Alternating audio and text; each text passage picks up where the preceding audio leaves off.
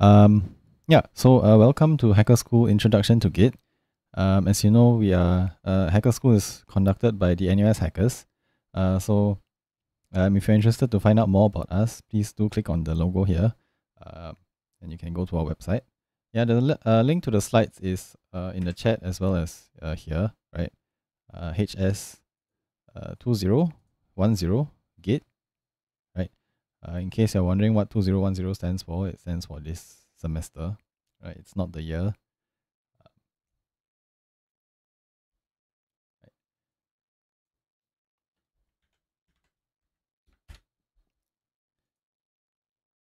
All right. Um, so let's begin. So, my photos are not working. Why? Let me try the live version. Yes, okay. The live version works. Um, okay, yeah. So uh, hopefully everyone has managed to install Git, right? And um, I know we didn't mention it in the email, but hopefully everyone has a GitHub account. Uh, if you don't have a GitHub account, please, uh, you can just go and create one. It, it it's very fast. Yeah. Um, if anyone has any issues with uh, installing Git, uh, getting Git to run, uh, please let me know, or, or let us know in the chat so we can get someone to help you. Yep. Um, if not, let's get uh straight into it. So um, there are some other resources that uh you will find useful uh, when you're using Git. So first thing is the Git manual uh, which is linked here, and also the Git book, right? Um, the Git book is a very detailed, uh, detailed book, right? Yeah, and you can keep this uh, set of slides with you as well. Yeah. All right. Um, so let's talk about what Git is, right? Um, so Git is a what we call a distributed version control system, right? Uh, so what does this mean? Uh, version control means it controls it's all, it helps you version uh, your files uh, whatever they are um, so like your mm, most uh, it's usually used for of course source code but you can use git for like um, other things as well like uh, latex latex doc documents um, or whatever work you're doing right you want to keep a history of changes or things like that you can use a version control system so then what is a distributed version control system um, so then we need to talk about um, in the past. sorry, in the past we've had um, or in the past this thing called SVN or Subversion was popular, right? Uh, Subversion is what we call a centralized uh, version control system, right? That means that um, you have a server, right? And uh, on your desktop or your computer, you will just uh, check out. Uh, you will check out from that server, and like every time you commit, you will commit straight to that server, right? Uh, Git is distributed. What is what does this mean? It means that um, each copy when you clone a repository, right? Um, Git will clone the entire history of the repository, right? And when you create a new commit, right, it will first you will create a commit locally, right? And if you want to push the commit to another uh, another somewhere else, for example GitHub, right? Uh, that is you know that is an extra step on top, right? So Git sort of works locally, right? And you can do everything that you can do everything without an internet connection, other than um, pushing.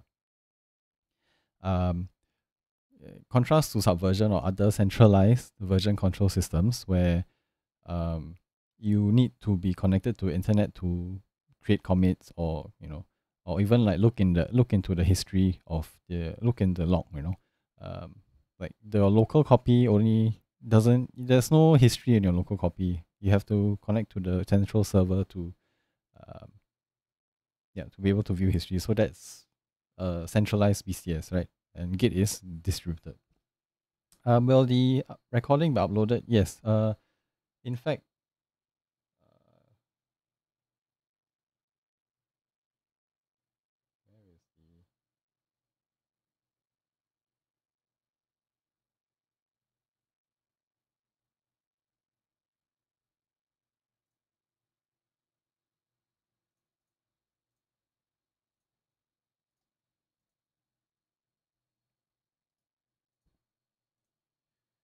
Yes, in fact, uh, we are also streaming on GitHub uh, on YouTube currently. So if you prefer, you can uh, you can tune in via YouTube.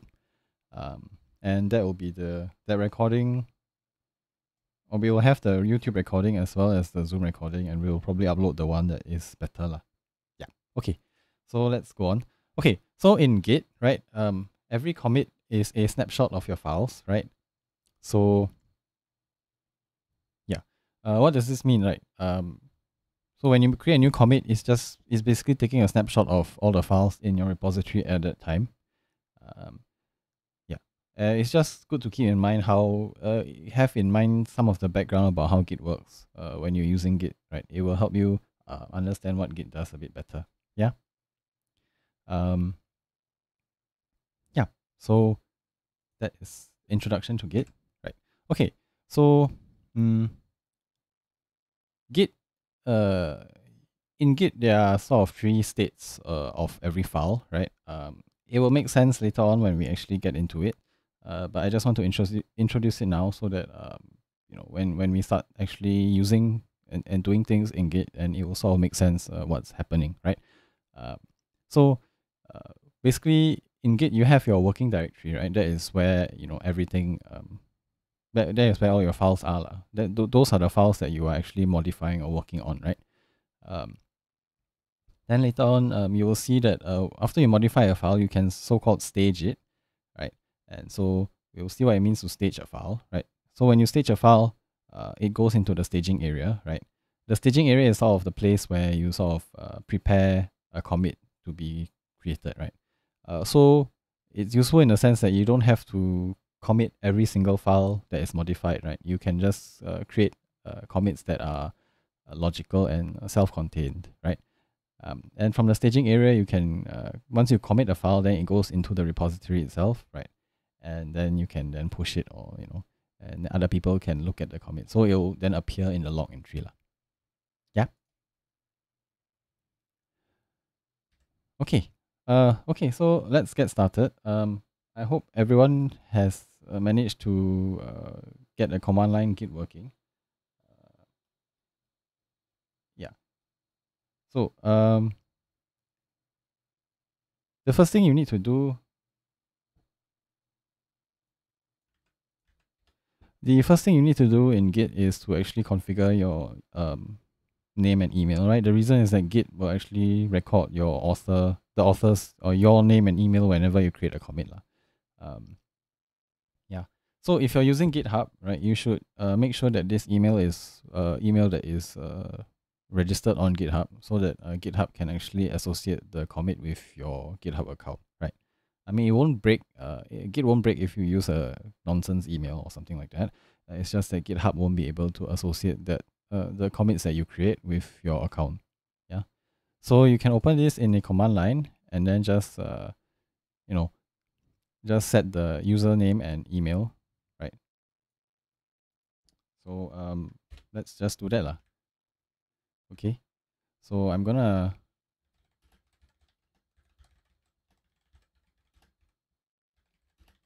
right? I'm going to set my uh, name, right? And I'm going to set my email. So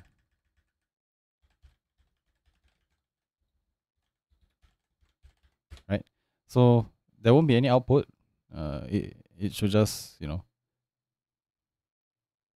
yeah, it, it should succeed, right?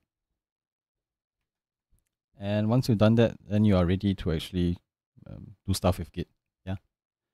Okay. Uh, the other thing that you should do the first time that you use Git, you are getting an error of not in Git directory.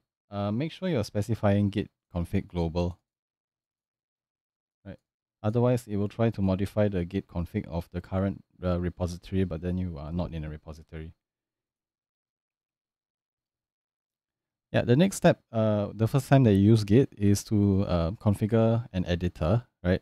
uh, because whenever you want to edit a commit message uh, or whenever you want to edit a commit message or you know a few other things right git will sort of launch an editor um, and so you should configure your favorite editor so that uh, yeah you can use uh, you can edit your commit messages lah.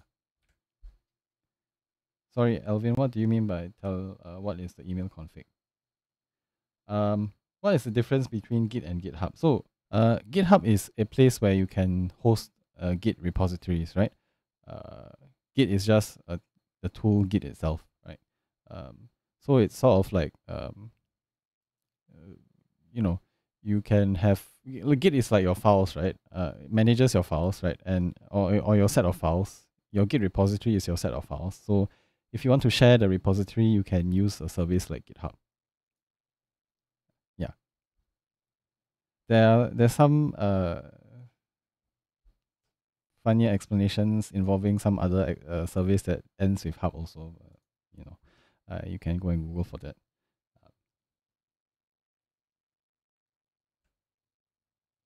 All right. Uh, so yes, uh, set up your editor, right? Um, you don't have to do it. It's usually set up to something uh, same default. Um, I think if you're on Windows, it's set to Nano in a Git Bash, something like that. Uh, so if you want, you might want to change it to something like Notepad or VS Code, something like that. Yeah, if you're on Windows, you'll probably have to do the bottom two, right? Uh, the top three is if you're on uh, Linux or Mac. Okay.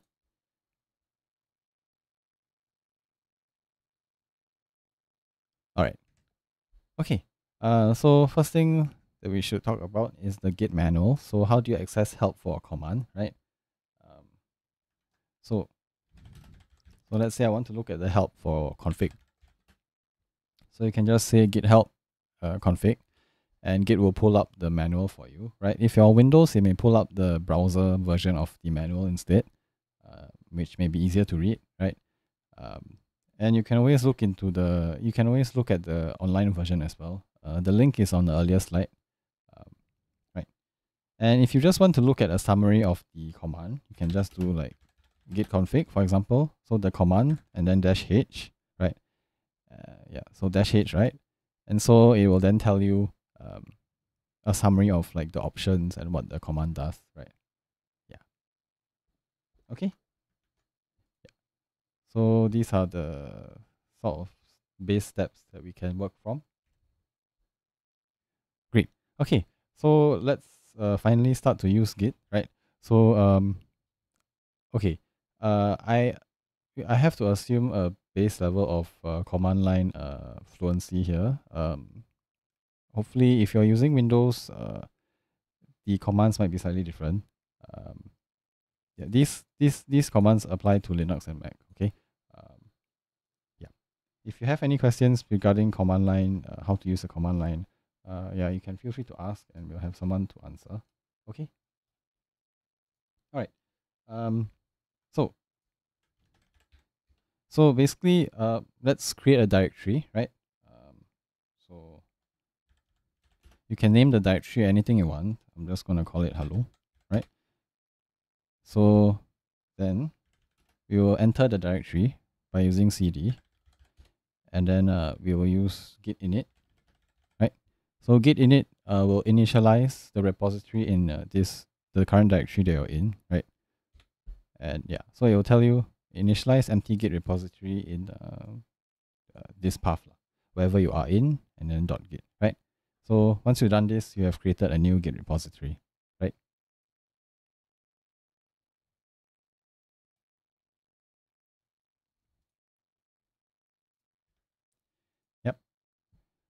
So what can we do with our Git repository? Well, uh, let's create a file, right? Let's create a file. So there are multiple ways to create a file. Um, you can use whatever you want. Uh, I'm going to just use uh, the shell. Right. So we have created our file. Right, you can use a notepad or VS Code or whatever it is to just create a file, right? Or you can just like on your uh, file explorer, you right click and say new file. That works too, right? Uh, yeah. So once you have created a file, right? What we're going to do is to add the file, right?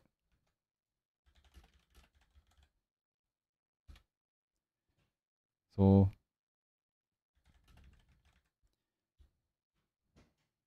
once you add the file, um, if it succeeded, there shouldn't be any message or anything. It will just succeed, right?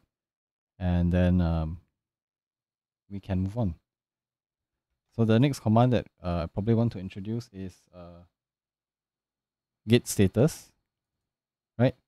uh, so you will see this command over and over again, right? Because it's a very useful command. It will tell you exactly what is going on with your repository. So what have you done? Uh, what you know? What, are there any like um, change files? Uh, are you in the middle of doing some operation and so on? Yeah. So let's look at Git status. Right, and you see the Git status tells you, okay, you are currently on branch master. Right, master is the default name for the default uh, for the main branch, right? Uh, they are trying to change it to main now, um, but yeah, it depends on your default setting. Um, so you see here that we have no commits yet, right? Just that makes sense because we just created our repository, right?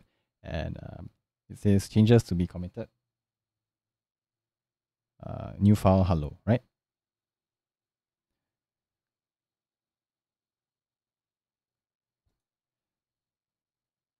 make sure you have added the file, right? Because then we're going to create commit. And make sure you add the file. Uh, Alvin. All right. Uh, we can also look at the files that we have staged, right? Uh, so like we can look at the what we're going to commit. So, right. So we just type git diff and then dash dash staged right? and then it will um, it will tell you that okay you have created a new file right and the file's name is hello and uh, this is the contents of the file so you have added a new line and the line says hello world right um,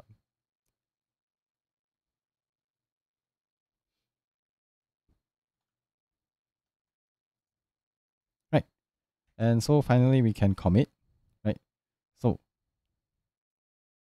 can just type git commit, right? So if you have a short message, right, you can just type it in line, um, like using dash m flag, and then um, you can just put it there, put the message there, right? Um, but if you have a longer message to type, right, then what you can do is just type git commit. Um, you can just type git commit, and then it will open up your uh, text editor, right? In my case, it's Nano um, but you can use any editor that you're comfortable with. Yeah, and then you can type a commit message. So I will add, um, I will type my commit message and then save and exit the editor, right? So once I've saved and edit, uh, exited the editor, it will, yeah, it will say that it will show me the commit that I just created. So uh, I'm on the branch master and this is the commit hash, right? Um, your commit hash will probably be different. Uh, that's fine. And then whatever message you keyed in, or the first line of the whatever message you keyed in, right? Yeah, and then it will tell you a summary of the changes that you just committed. Okay. Uh, how's everyone doing?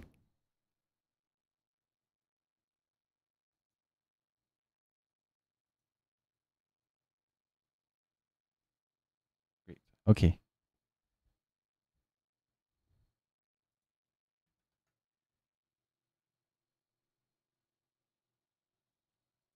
At any point, can you change the repo name? Uh, what do you mean by change the repo name? Like you want to rename the you want to rename the directory that the repository is in? Because a Git repository doesn't exactly have a name. Yeah, you can just rename it. It's fine. It will work. Git doesn't exact doesn't depend on the absolute path. So you can just move the directory anywhere you want.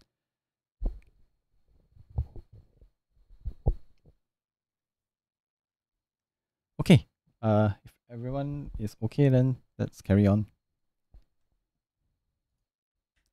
Right, uh, so now what you can do is to look at your commit, right? So we can use the command git show.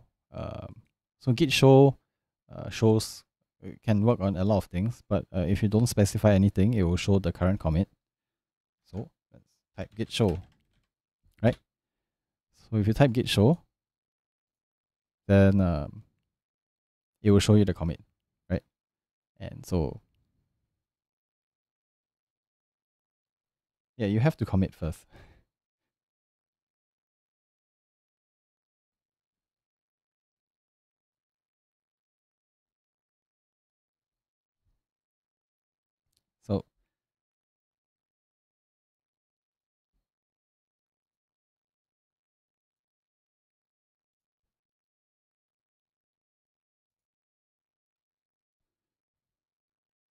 So we have the commit hash here.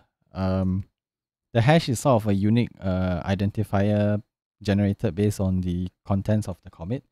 Uh, yeah. So in general, if you have a commit hash, you can properly identify the unique commit, right? Even if it's across repositories, uh, most of the time. Although it may not be, maybe it's rare, but you can have a collision or um, two different commits with the same hash. Right, and over here you should see the author's name, uh, which should be whatever you specified to, whatever you give to Git, lah, uh, the username and uh, email, right? And um, this should be the date that you created the commit, which should be right about right now, right? And then this was your commit message. And then we have our diff again. So this is the same diff that we you probably saw earlier when we typed git diff uh, dash dash staged? And this is the change that we committed.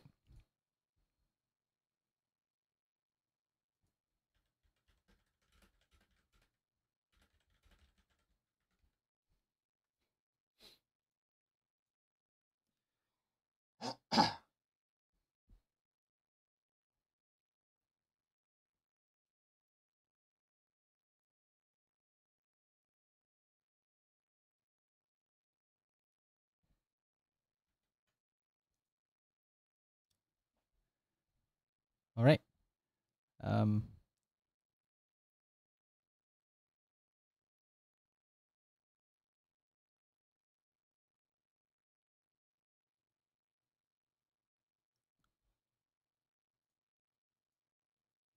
okay. So, um, let us make some edits to the file, right? Um, whatever file that you created, right? Ooh. Yeah. So remember I created a file called hello. Again, you can modify, you can do any changes you want. So I'm going to change this to hello hacker school, right? And then, um, yeah, so modify your file and then uh, we can look at the diff, right? You can look at the diff to the file. So you can look at the diff and you will see that here, uh, yeah, we so we deleted this line and then we added this new line in its place, right? Um, so that's the diff. So you notice that we're not specifying dash dash stage, right? That's because we haven't staged or added the file yet. So this is the difference between the uh, working directory and whatever that has been staged or committed.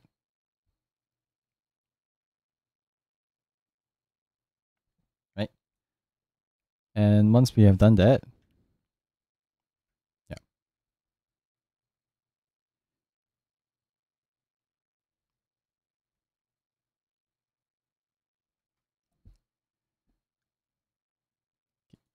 Once we have done that, uh, so let me just summarize uh, what we have uh, done so far.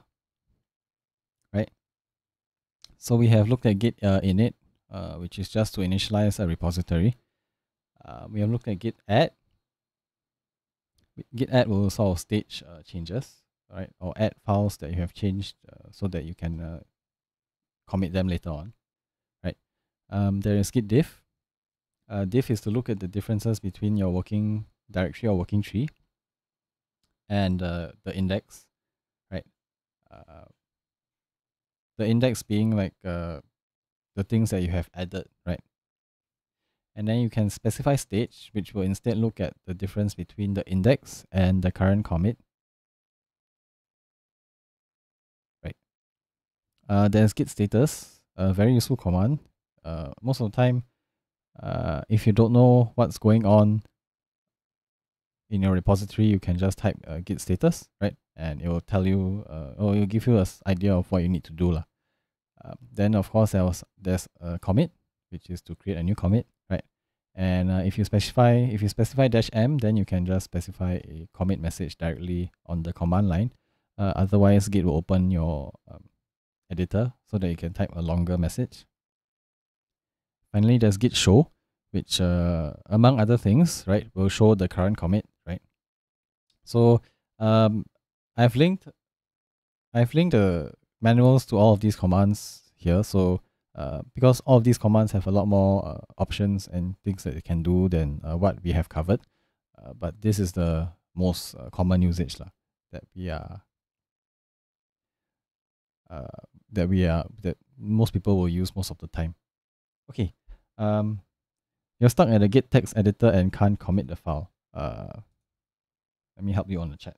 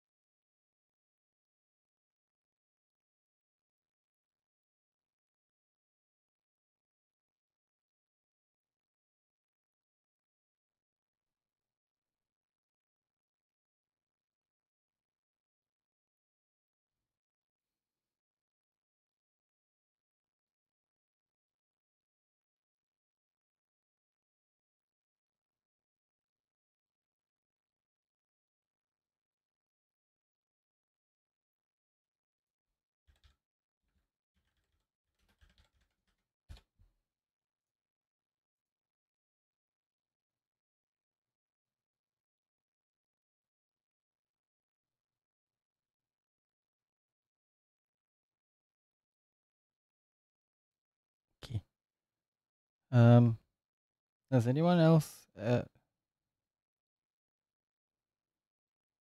okay, I'll explain that. Uh, I'll probably explain that at the end. I will touch on rebase and what rebase does. Yeah, so I think at that point I will explain it. Okay. Um, if nothing else, uh, I will carry on first. I think everyone is getting help. Yeah. Okay. All right. Uh, so yeah. So let me first uh, oops. Let me first commit this new change that I've created.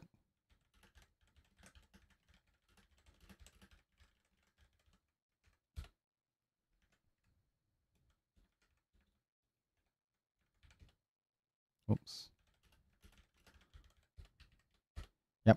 So I have uh, created a new commit, right? So whatever change that you made just now, uh, just create a new commit for it, or you don't have to if you don't want to. Uh, but what we're going to look now look at now is uh, git log, right? So which is to view the commit history, right? Right. Yep. So you can just type git log, log, and it will tell you the it will show you the log. Right. So again, uh, we have the commit hash author date commit message, right? Um, okay, what this means here is that this commit is currently uh, the head commit or where master is pointing, right? So you have other branches, then it will show you where those branches are as well if they are um, in the log. So by default, uh, git log only shows you the commits that are currently on this branch? Uh, later on, we will see uh, what's that? We'll, we'll use git log uh, to show commits on all branches, right? When we go to branching.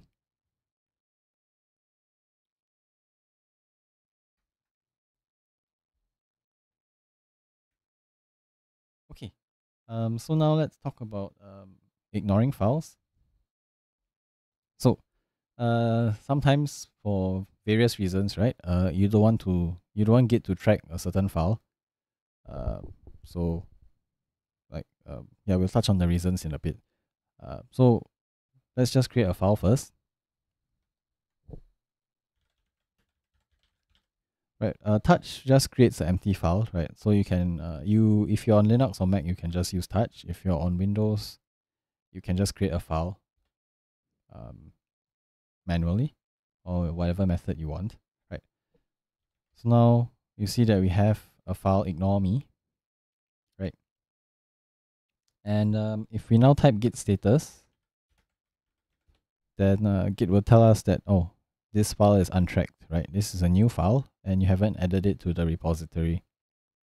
Yeah, but uh, let's say we don't want Git to actually track this file, right? Uh, for whatever reason, right? What you can do is? You can add it to a file called git uh, git ignore, right? So dot git ignore. So um, you can create a file in any way, right?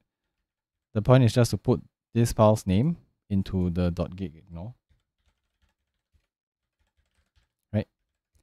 So I will open up git uh, git ignore in uh, in nano and then insert the file's name that I want to ignore. And now if I type uh, git status again, right, then uh, you will see um, ignore me is now gone, right? Uh, but now git, uh, git ignore itself is uh, untracked, right? And so uh, you should commit git ignore into the repository so that other people, you know, when they, uh, if they clone your repository, uh, then they will also get the same git ignore so that they will not commit uh, the same files into the repository. La. So I'm going to add the file and then commit it to the repository.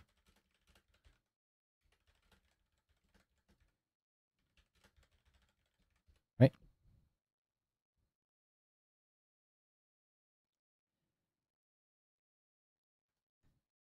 Yes. So yes, so you can add the file and commit it. No, add git ignore and then commit it. Yeah. And then now. If I see git status again, you should it should say that there's nothing to commit and working tree is clean, right? Because there are no changes that are not ignored, right? Uh, but if you want to view um, ignored files, you can always do uh, git status ignored, right? And then it will now tell you, okay, ignored files, uh, this, right? And if you really want to add a com uh, ignored file, then you can do git add dash f, and then you specify the files to add, right? So dash f will tell it, uh, among other things, it will tell it to ignore the ignore files or uh, ignore git ignore. Okay,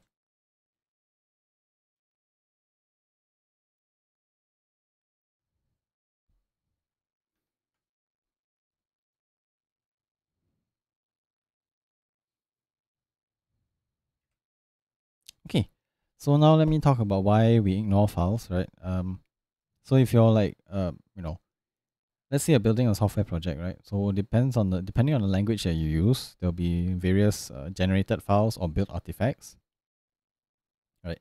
Uh, that you want to you normally will ignore because like um, they are derived from the other files that you are uh, that you know that are written by you.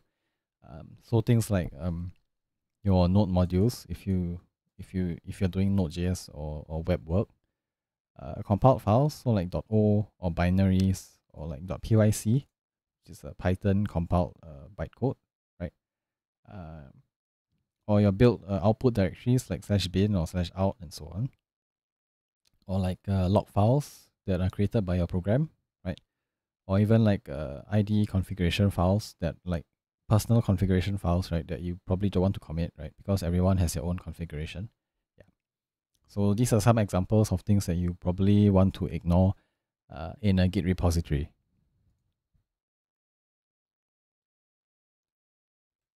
Right. And what's the ignore, uh, sorry, what's the format of .git ignore, right? Uh, so basically it's a glob format.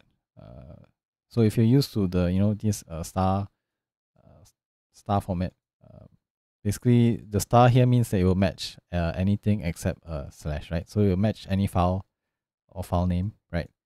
So this line here, sorry, this line here, the first line means that it will match any file that is in any directory in the directory called logs, right? And it starts with slash, so that means that um, it will uh, the slash here will mean that it has to be starting from the root uh, of the repository, right? Uh, if you don't have the slash, so for example like here, then it will ignore debug.log from anywhere anywhere in the repository. Uh, if you have the slash, that means you'll only ignore debug.log uh, at the root or the like the root repository uh, root directory of the repository. Right. Um. So finally, what does this star star mean? It just means that um it'll match uh, any anything uh, including subdirectories and so on. Right? So there's a difference between star and star star. So for more details, you can look at the full uh, pattern format here. Uh, yeah.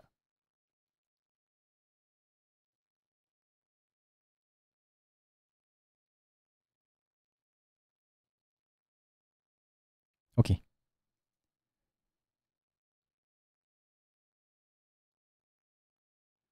if you committed your password file, but you want to remove that particular commit that was done a few commits back, do you just delete that commit?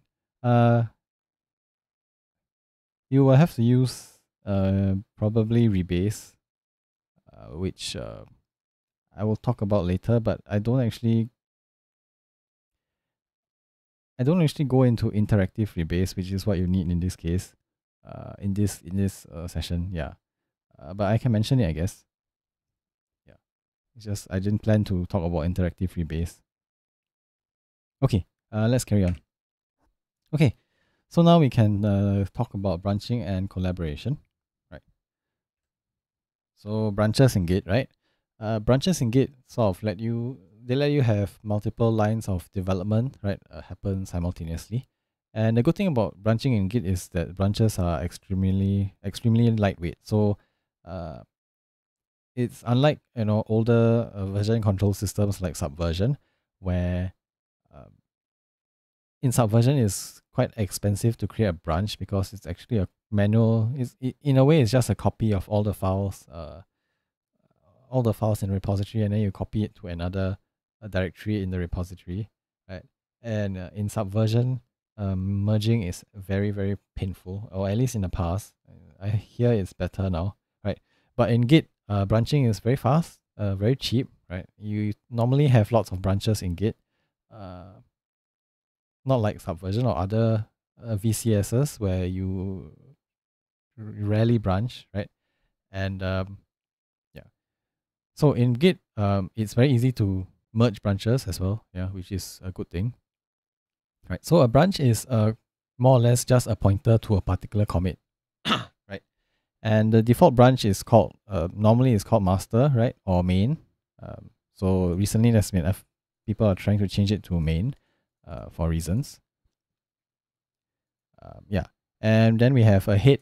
We have this thing called head, uh, which we'll see um, now and again, right?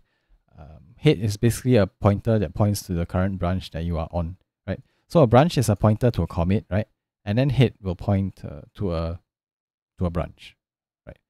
so then this is head will track the branch that you're currently on, and then um, the branch basically tracks the commit that the latest commit in that branch. Right. That's why branching is so cheap because it's just a pointer um, to a commit. Yeah. Okay, so uh, that was the background about, about branching uh, branches in Git. So now how do we actually create a branch, right? Uh, there are okay.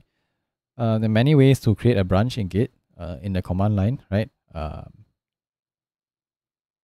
so I will just talk about two of them. So the first way to create a branch is to use git checkout uh, dash b, right?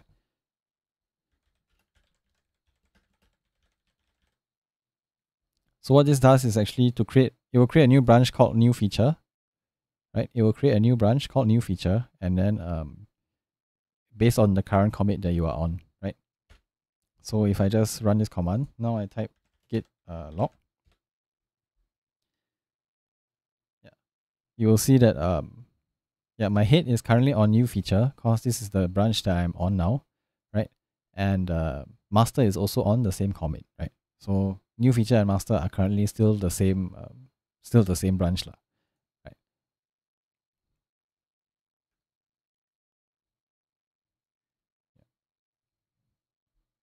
So the other way to create a new branch is to use git branch. So if you just uh, do this git branch and then a branch name, uh, it will create a branch, but without switching to the branch, right?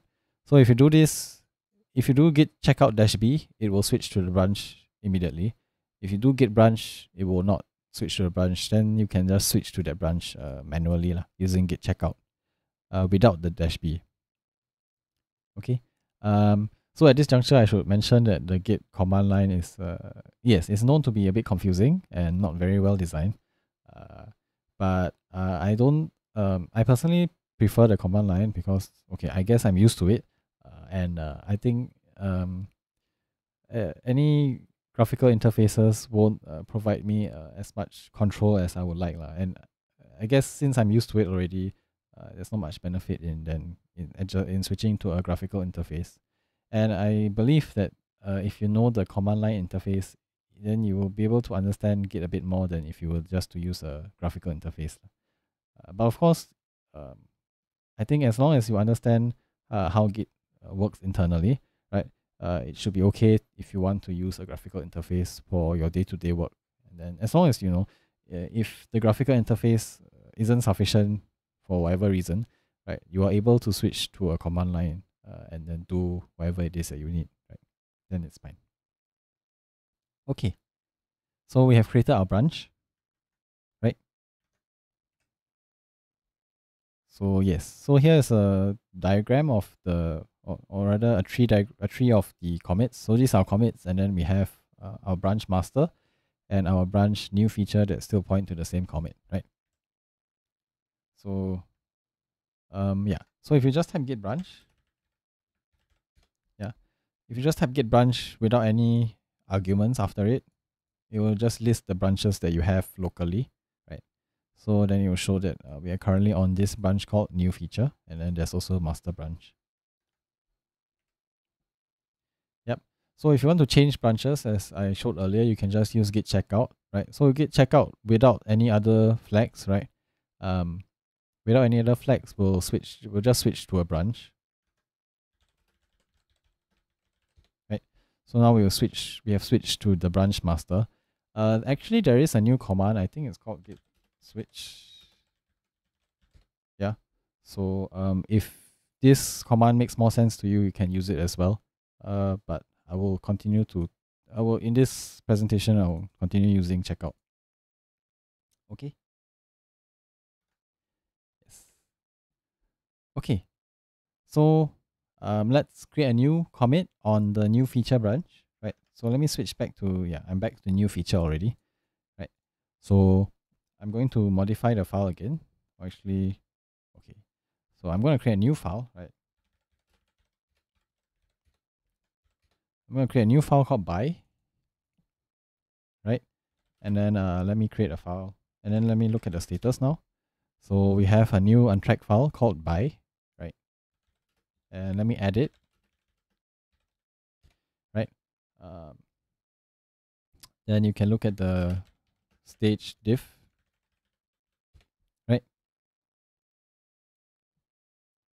so we are creating a new file by and then this is the contents of the file yeah and then we can uh, then create a um, new commit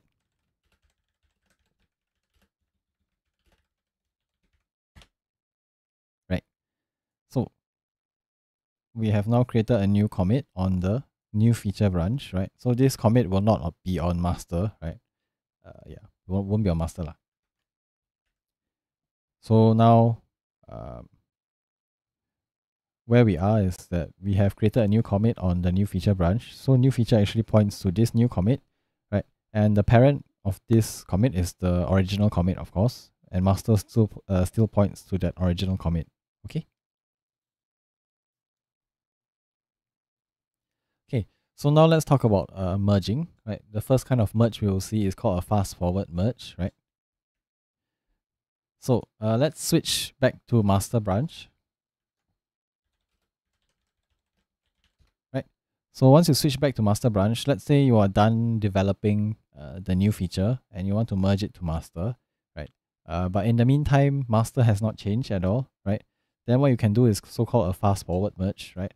And I'll explain why it's called a fast forward later. But to merge, you can just do, right? Uh, git merge, sorry. You will git merge new feature. And once you do this, it will say uh, fast forward. So basically, again, you do git merge and then the branch that you want to merge into your current branch, right? And then you will do the merge. So uh, if you followed along, you should be able to get to a fast forward merge. Okay, so why is it called a fast forward merge, right? The reason is that um, you see, uh, we just fast forwarded master ahead so that it's uh, up to date with new feature. That's why it's called a fast forward merge, right? Because there were no other changes to master uh, compared to new feature. Okay.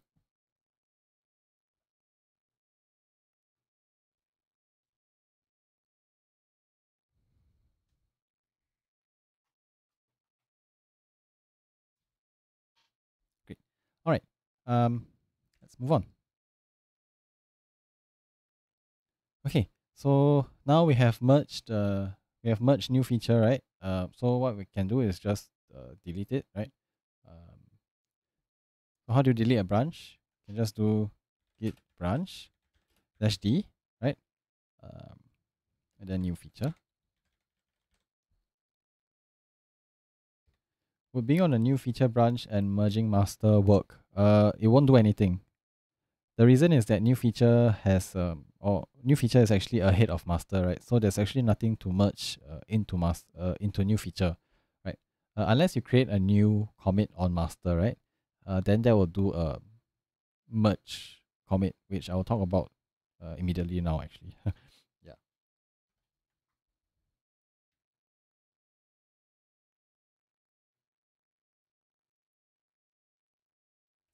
In fact, since you mentioned it, uh, let me just talk about it.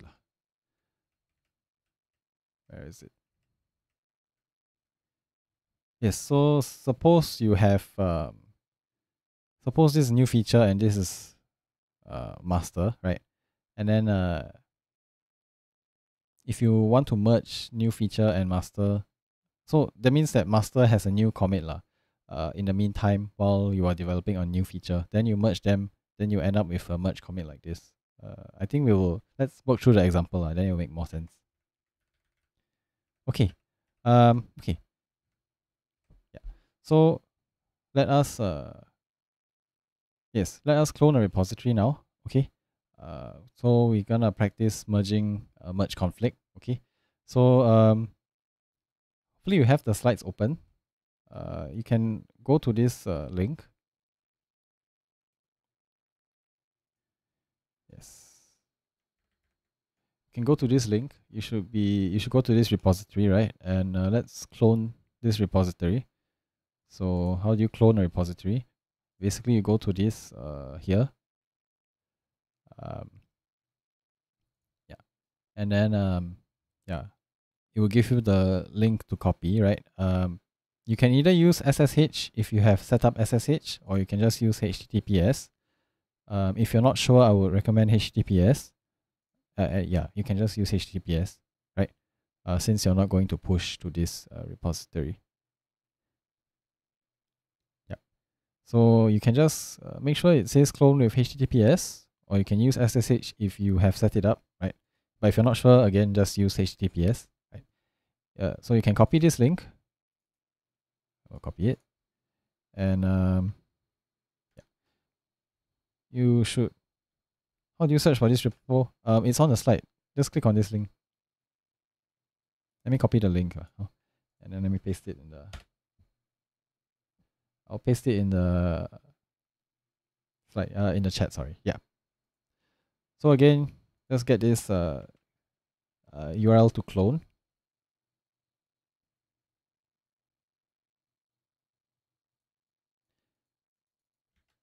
Yeah, you'll notice that actually the HT, uh, HTTPS URL is exactly the same as uh, this one, like just with a .git at the end, right? So actually, um, you can just copy the same. It will work either way. Okay, so now let's clone the repository, right? Um, so how do you clone a repository? Um, so the first thing you should do is to get out of this current repository, right? Um, it will work, right? You can clone a repository inside another repository, but uh, I think it's better if we don't do that. So let's get out to a different directory, right? And then I'm gonna git clone, and then uh, clone this merge conflict repository, right? Yep. So it will say cloning into merge conflict, right? So that means it has created a new directory. So we can go into the new directory.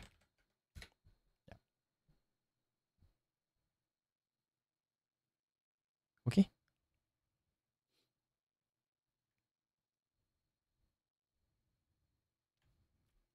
And um,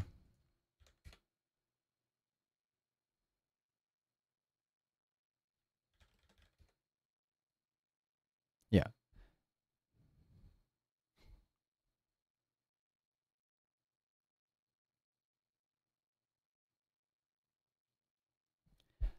Uh, yeah, there's only buy inside. This might have been an older version.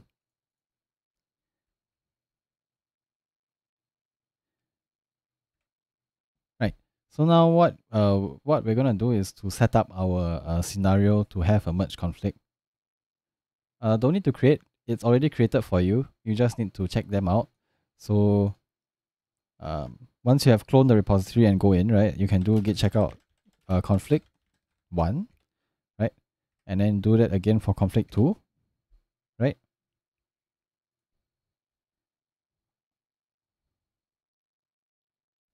So then you once you have checked out both of the branches, right? Uh, you can check, you can look at the branches and what uh, has happened on them, right? Uh, so here I've changed by to farewell, and uh, on um, on conflict one I have done some other change to buy, right? Okay, so now to do our merge, right? Let's move back to master. So we want to merge both of these branches into master. So now switch back to master, right? And then, yeah. So this is a scenario we have now, right? Um, must we have master, right? And then uh, we have the two branches that have diverged, right? I say diverged because they have both have different changes made to them, uh, or different commits made to them. So they have diverged, right? And um,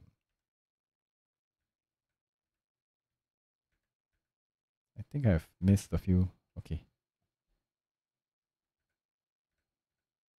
Somehow I missed a few. Okay, here we go. yeah, we're supposed to be here. Sorry. So yeah, we have master and then our two branches that have diverged. Okay. Uh.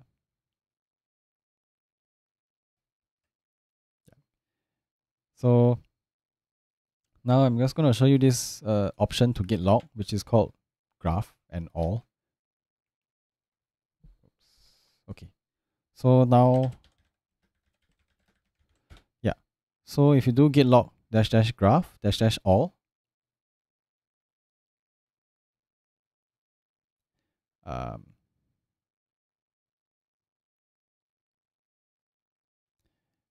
if you do git log dash dash graph dash dash all, you will see the uh, graphical um, a tree of or a graph of the all three branches lah. Yeah, and you will see we have a master we have master branch right, and then um, we have conflict one which is sort of diverged.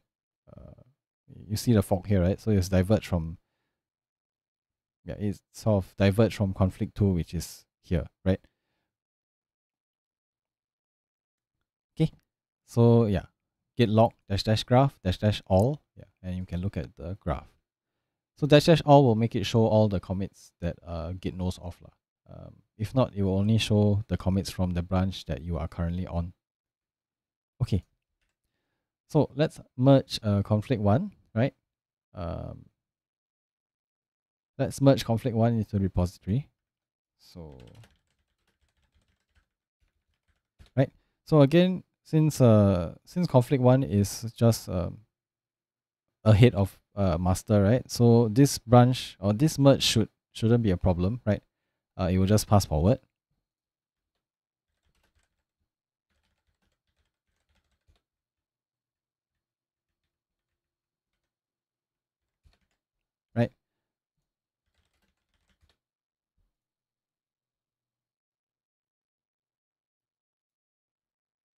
And now let us try to merge conflict 2. And yeah, now it will tell you, oh no, you have a merge conflict, right?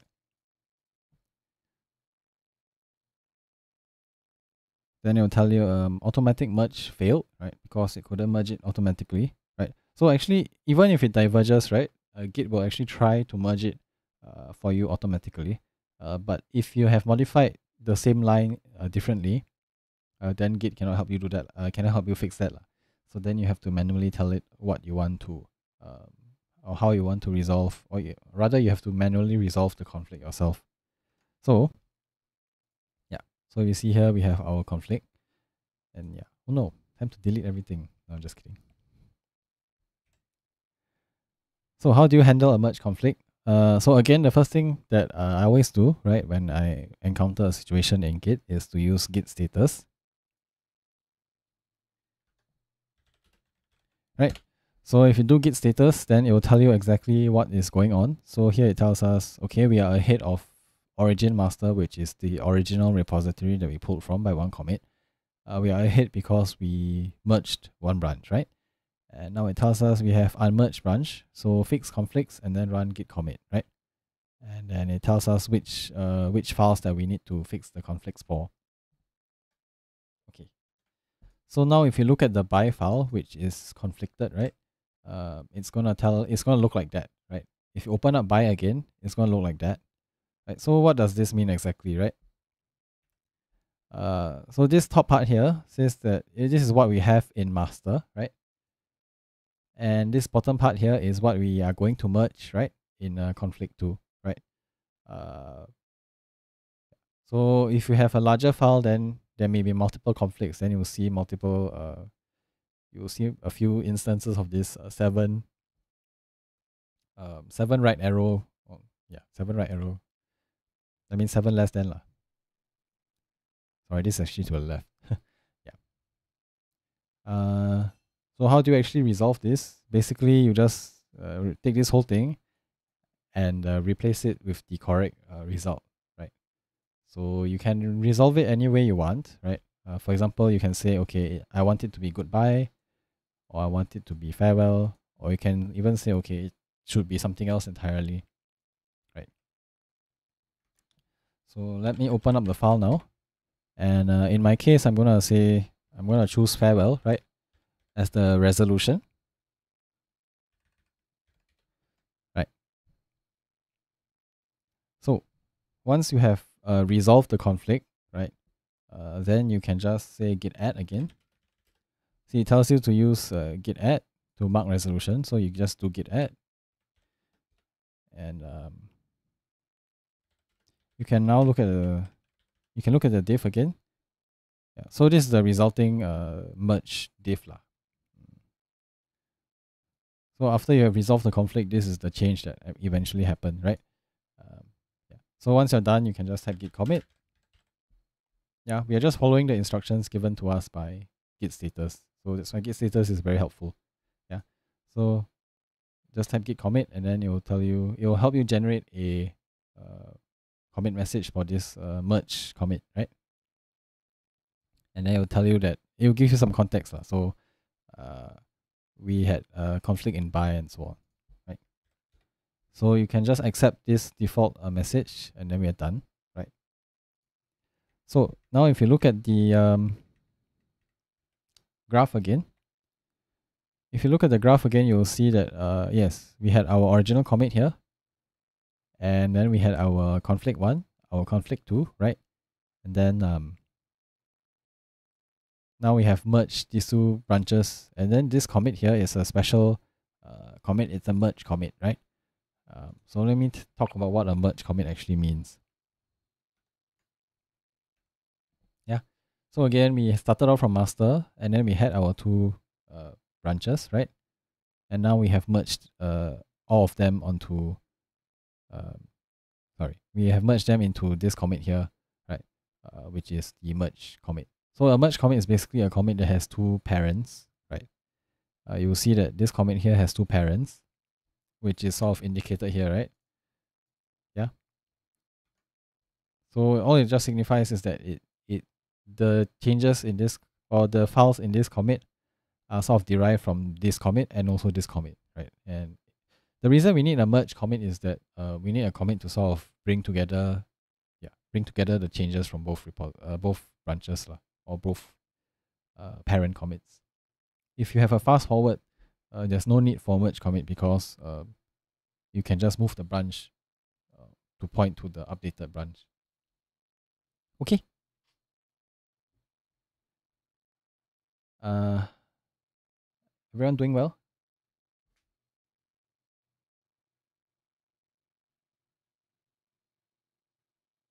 Yep, yep. Great. Go back to my screen for a while.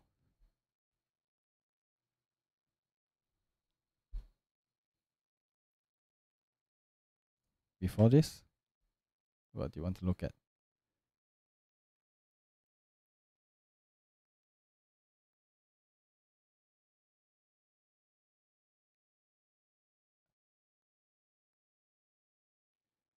all the command output is actually on the slides, so um, you can just refer to the slides as well.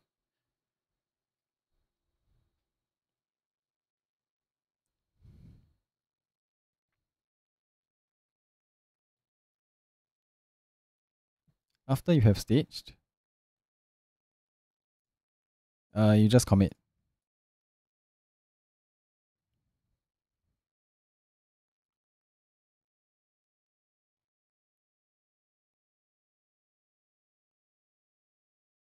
Yeah, you can look at the graph as well, uh, the log as well, right? Uh, but the important thing is to commit.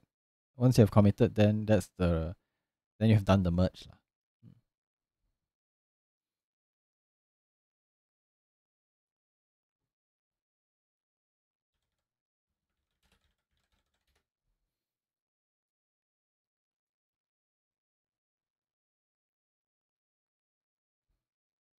Mm,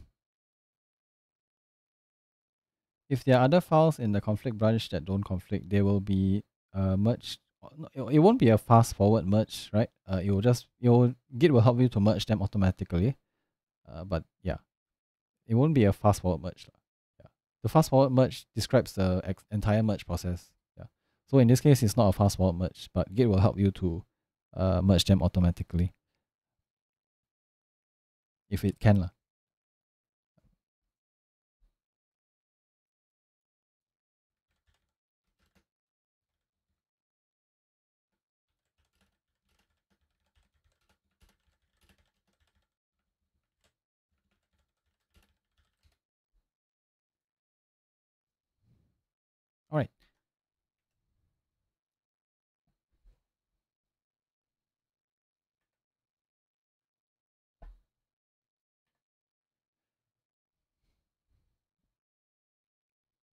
So um, now we have done a merge. We have handled a merge conflict, right?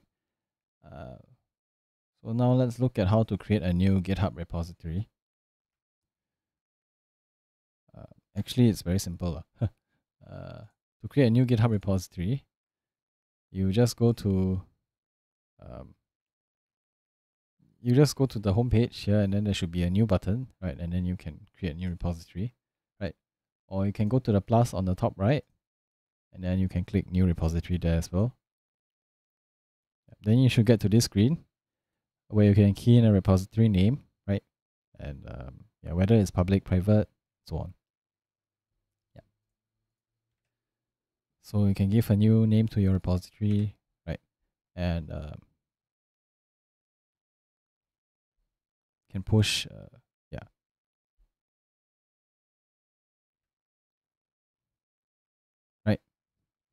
So, um,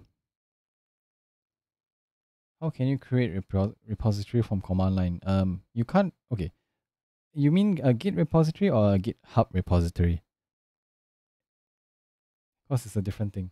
A Git repository, uh, it, I okay to create a new GitHub repository from the command line. I believe there is a GitHub uh, command line tool, right? Uh, but I don't really cover that, right? Uh, because yeah, it, it's a GitHub specific thing, but I I believe there is a GitHub command line tool. Yeah, but I don't cover that in this workshop, and I personally don't use it either. Um, GitHub is just a service, right? Uh, GitHub and Git are separate things. Uh, you can host your Git repositories elsewhere. So there's like GitLab or like uh, SourceHut and other hosts, right? So GitHub is just one of the services that you can use. Of course, it's the largest uh, by far, I think. Um, but uh, if you prefer, you can even host. You can host your Git repositories yourself. You just need a Linux server, and then you can actually host. You can use it as a Git uh, Git host as well. Yes. Okay, so once um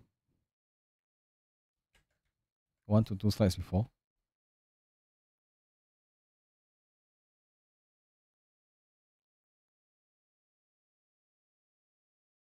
Uh, is this what you're looking for, Alvin?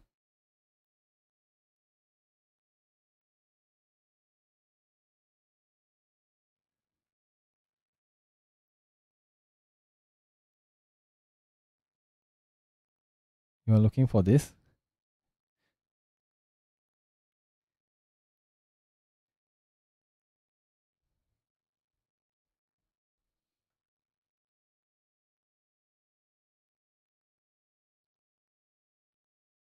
Uh, Alvin, what are you looking for?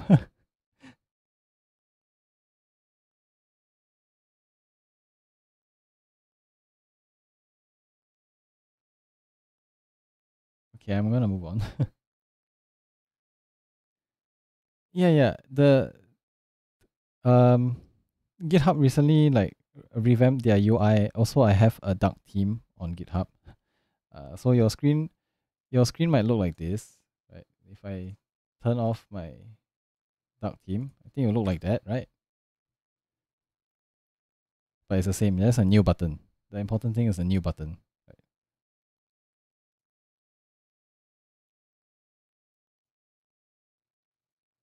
Right. Okay, so again, you can create a new repository, right? Uh, just click the new button, right? You can give it any name you want, right? Once you create the repository, um, you should be able to, you should get to this screen, lah, right? Um, so they tell you, they give you instructions to create a new repository on the command line, right? Or to push an existing repository from the command line.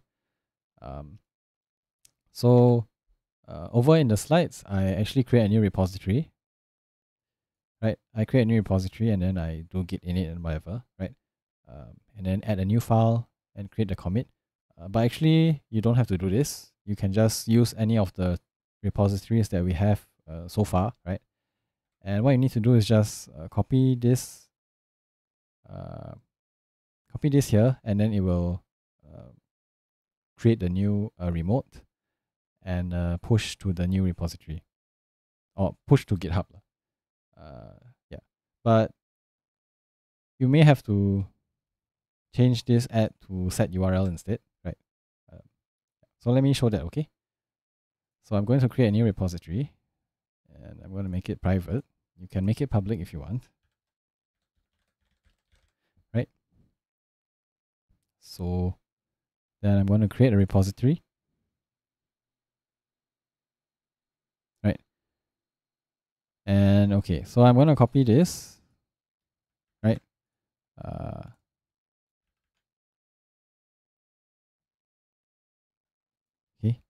And I'm just going to push the um,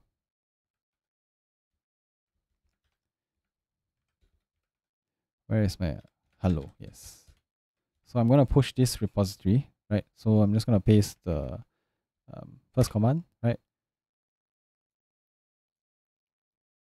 Actually i need to change to ssh first. Um, okay yes. Uh, let me talk about that uh, let me finish this demo first okay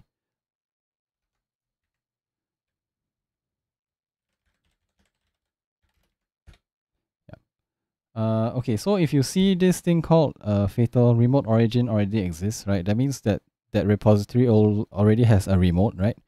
Uh, called origin. So what you can do instead is just to use set URL instead. So you will change the ori- uh, change the remote lah. Um, so what exactly is a remote, right? It's just a URL to a remote uh, Git repository, right? So the remote can be anywhere. It can be on GitHub, GitLab, SourceHut, or someone's server or your phone or something like that. As long as your phone is running a SSH server, right? You can even push to your phone. Um, yeah. So a remote is again is just a remote uh, repository. Uh, so you can push the repository and you can pull from the remote repository. Right. So again, if you see a remote origin already exists, right? Then uh, you can just instead of using add, right? Then you just use set URL. Okay. Yeah. So, um, yeah. sorry, where am I? Yeah. So then, um, okay, this is a new line that GitHub sends you. Uh, do you add gitignore and readme.md? It's up to you. Uh, I will say no. Uh, if you want to push an existing, if you want to push an existing, uh, if you want to push an existing repository, uh, then you shouldn't uh, but if you're starting from scratch, then you can you can add a, you can tick you can tick the checkbox lah. Yeah, I know what you're talking about. So for this demo, uh, don't tick the checkbox.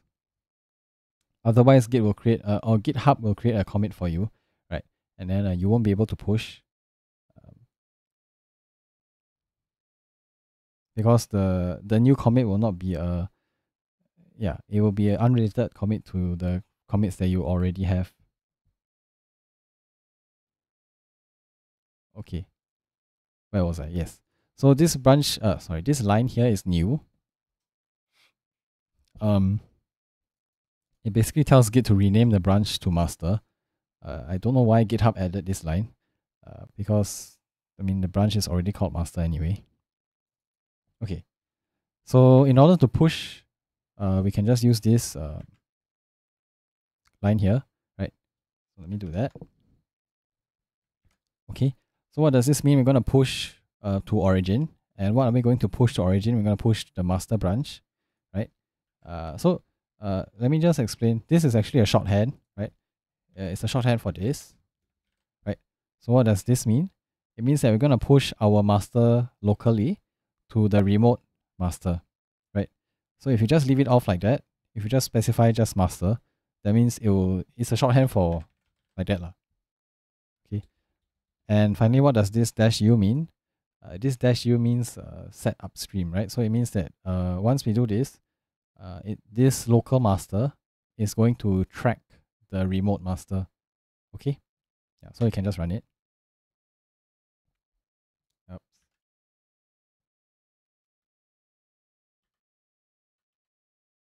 Let me unlock my SSH key first.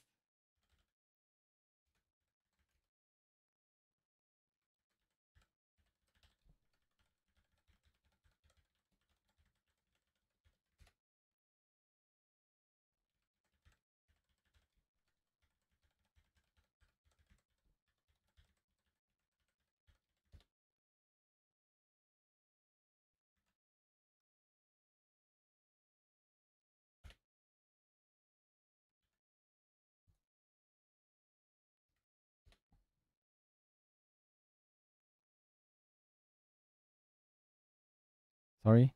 Okay. Again, uh, this is what you just copy from. Um, this is this right. Uh, the URL from GitHub. So you can just copy the URL here, or you can copy the whole command here.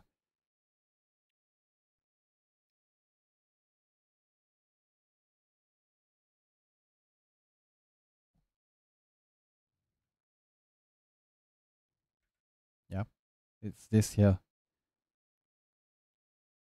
Again, the URL the URL is here, so you can just copy. Uh, yep. And once you have done that, you should be able to push, right? So again, it's this line here.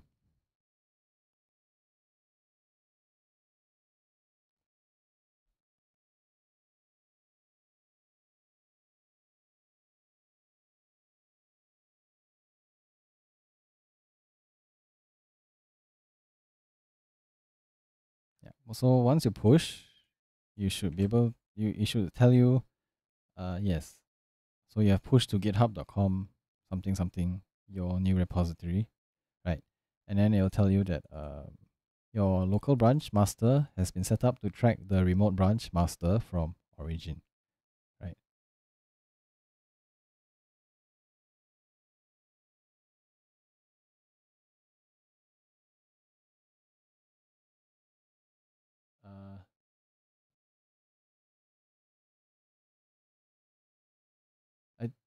okay, Alvin, you don't need you don't need to execute the set URL command, right? Uh, you you only use um, you only use set URL in case it it gives you the uh, remote origin already exists command uh, error. How do you automate uh, providing credentials when pushing? Um, okay, if you're using if you're on Linux, right? If you're on Linux, you can uh, use this. Let me send the link. You can use SSH key if you're on Linux or Mac. Lah. Um, in fact,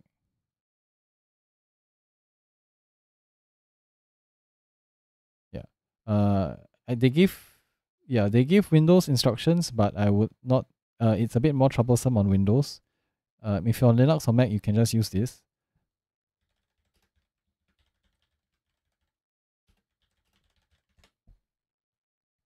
I think on Windows there is a Mm. Yes, I think it's called this. Yes. Git Credential Manager for Windows. So if you're on Windows, you can look this up. I believe what it does is just store your username and password. Something like that.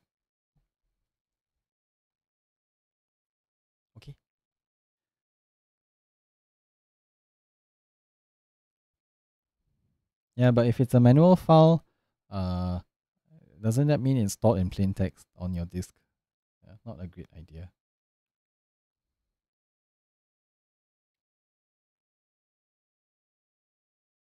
Yeah. Okay. Uh, so has everyone managed to push uh whatever repository you? Okay.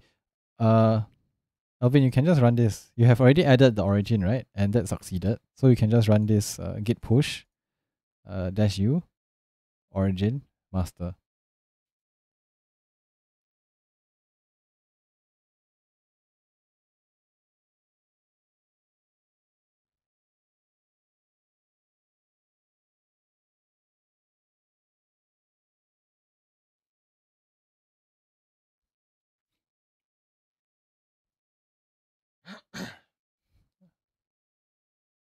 Uh you missed uh you missed origin. You missed you missed the okay let me just copy the command for you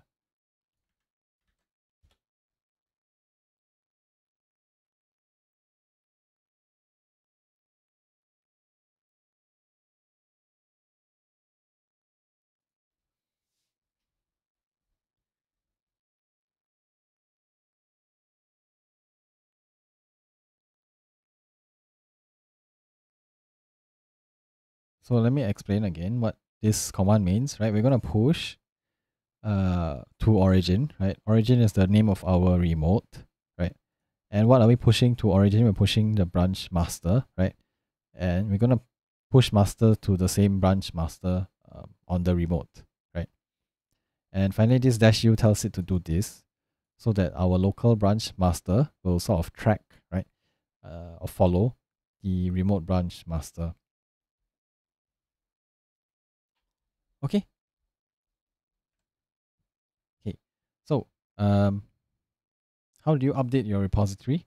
Uh, what you can do is just uh, pull, right? Yes. Uh, we can pull.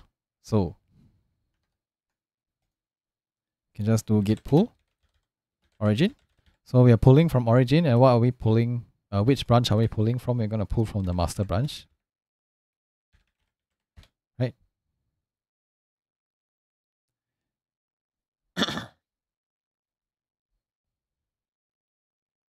So now uh, this is a new warning. uh, which is that Git is complaining about um, how exactly it should uh, sort of update your local um, what do you call that your local branch lah. Um, I'll talk about this in a bit. But the point is that um, so here we are pulled we have pulled from the remote master, right? Uh, but of course we just push there, right? So our branch will be up to date lah. If you have done this, right? If you have done this dash u, uh, that means your branch is set up to track the remote branch, right? Then you can just leave off this whole thing and Git will know where to pull from.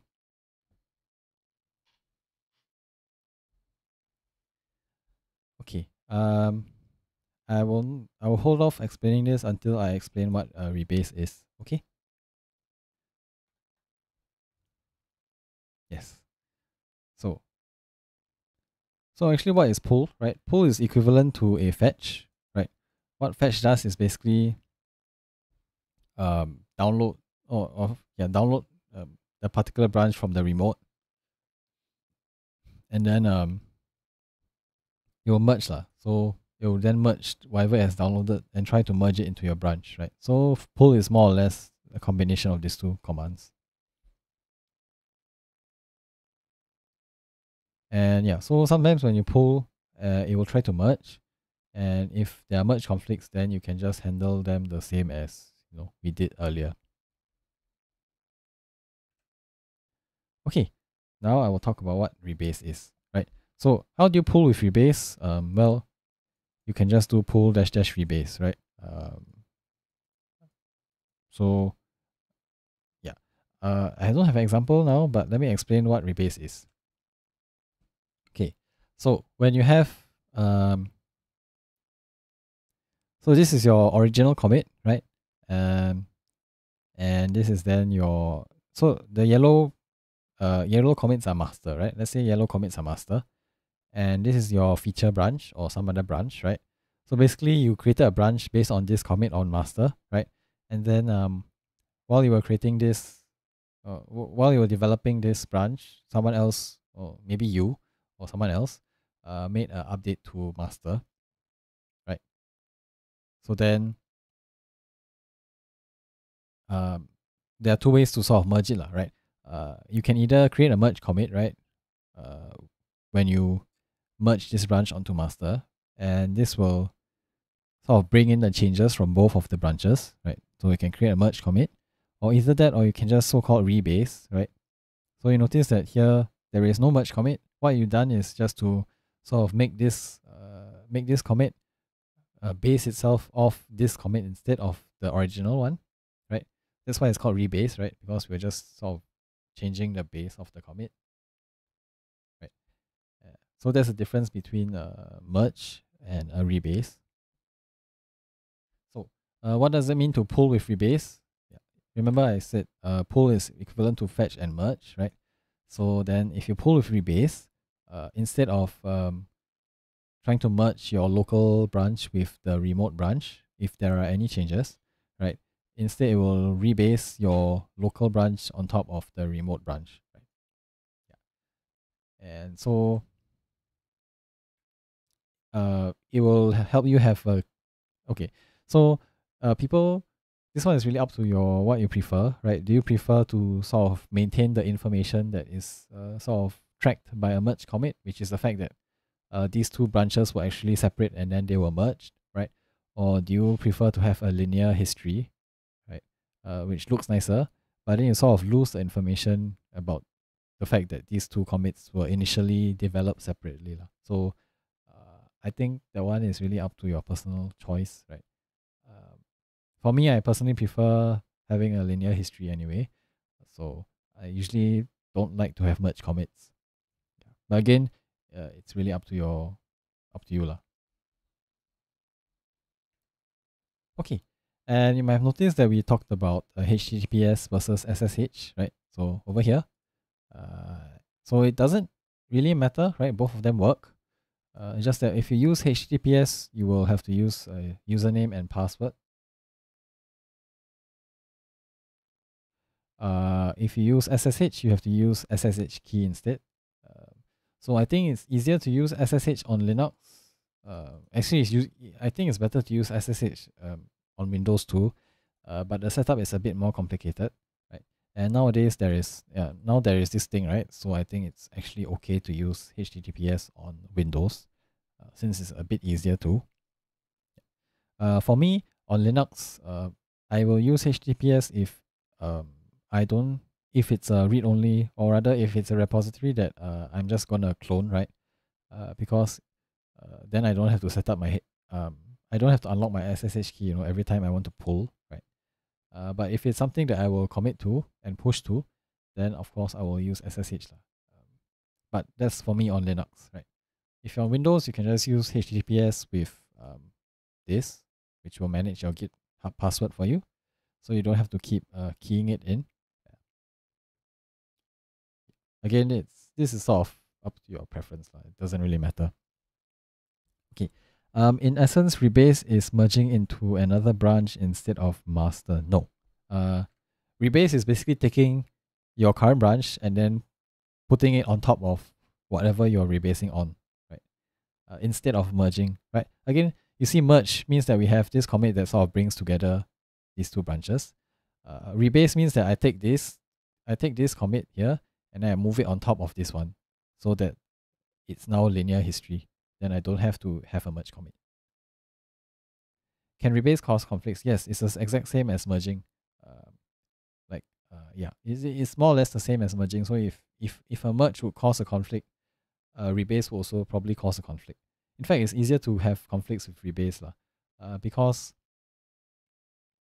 I don't have my tablet. It's okay. I will use my mouse instead. So imagine you had like uh, multiple commit. Uh, imagine you have like multiple commits, right? Like that, like that, like that. Uh, if you rebase, right, what it means is that it's going to try and apply uh, each of these commits on top of here, right? So like that, and then like that, and then like that. So every time that you move, uh, every time it applies each of these commits on top of the original commit, right? Uh, each of these applications could cause, could, could have a conflict? Uh, versus a merge where, versus a merge where it would just, you know, um, yeah, it will just merge, uh, and you only need to resolve the conflict once, right? So um, yeah, in general, if if the if the histories have diverged a lot, so like if there are a lot of commits, like like you know, it's probably better to just merge instead of uh, trying to rebase. There's also the other thing called a squash, which you can look into. So what a squash does is basically it will take this whole chain, and then it will merge it. Uh, it will squash it into a single commit, right? Um, yeah. Conflict is due to content differences. That means like you have changed the same line, uh, in the same file, right? In two different in, in the two branches, right? So Git uh, cannot help you. There's no way for Git to help you merge that because it doesn't know which change that you want, right? Uh, so then there's a conflict. Uh, if you have changed different lines in the same file, usually that is okay. Uh, Git can help you automatically merge that and it will do it. Okay.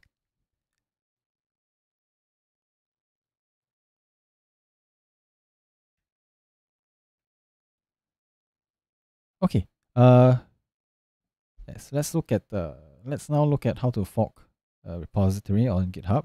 Right. So again, uh, there's this repository which I will paste uh, in the chat. Right.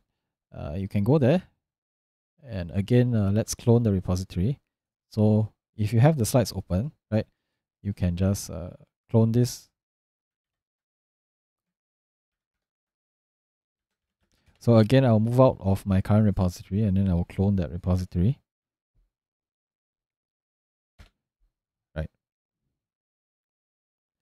Um, yeah. I will clone that repository. Then um, I'm gonna just go in and make some changes to the repository. Right, and so um,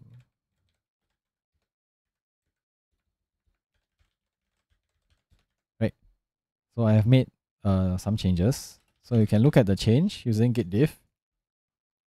Um, as usual, right? So now uh, let's say I want to uh, yeah I want to make a pull request with my changes, right? So what I'm gonna do is you can go to fork me, right?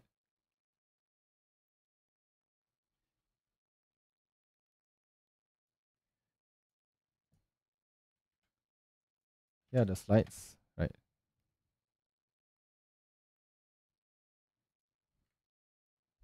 I would recommend that you, uh, it's probably better if you open up the slides, easier to follow.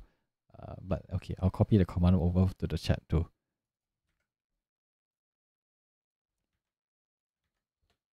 Okay.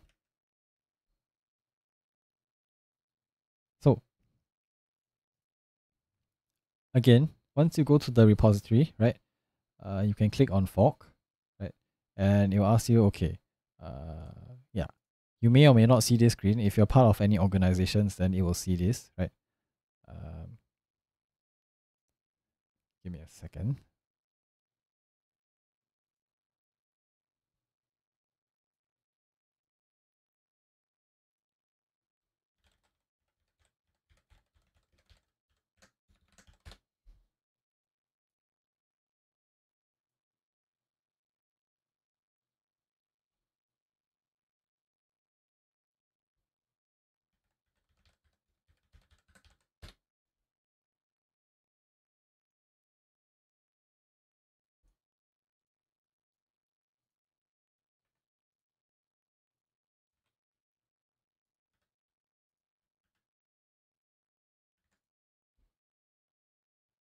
Okay.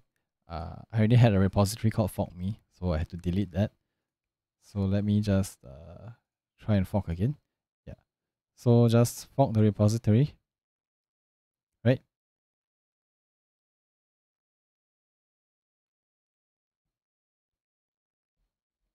Okay. So now you should be uh, you should be at your GitHub username.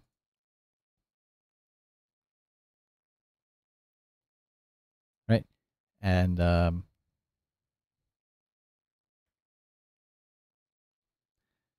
so now, um, yeah, so hopefully you have edited the file inside the fork me repository. And uh, yeah, and then you can create a commit. So let me just create a commit now. Right? Oops. Okay. Okay, yeah. Uh, by the way, you can use git add dot, right? This will just add this current directory and everything under it. Right. There are other flags, there are other options to that you can use with add, so you can look up the manual. But yes. Okay, so you have created a new commit and now you want to make a you want to contribute back to the original repository. So how you do this is um yeah. Now you can copy this link right? Again, you can use HTTPS or SSH uh, if you have SSH set up, right? Um, okay. Then, um, yes. So get the URL, right? And then uh, you can look at the, yeah. So before you want to do anything else, you should make sure that your um, your repository is up to date, right? Before you create a pull request. Yeah, so we just do a git pull first. Yep, and then of course we're up to date uh, because uh, no one has made any changes, right? Uh, right. So now we are going to add a new remote, right? Uh, and the remote I will name it fork, right? You can call it anything you want, but again, uh, I'll name my uh, I'll name my remote fork. So this remote now points to my fork repository. And now, um, so let me look at the log first. So you can see that uh, this is the origin master, right? So this is the original, uh, what do you call it? This is the original branch that we pulled from or cloned, right? And uh, I have created a new commit on top of, uh, sorry, I've created a new commit on top of the original master, right? And so this is where my local master is at, uh, at right now, right? So now I can push um, I can push my master to my fork repository, right? And how do you do that? You can just use git push. Uh, again, where we pushing to fork, and what are we pushing? Master, right?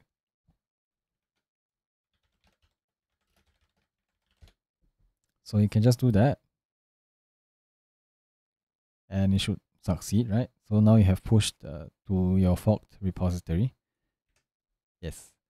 And now if you go back to the repository and you refresh, it should tell you that you are one commit ahead, right? You're one commit ahead of the original repository. And so you can then um, create a pull request. So you can just click here on uh, pull request.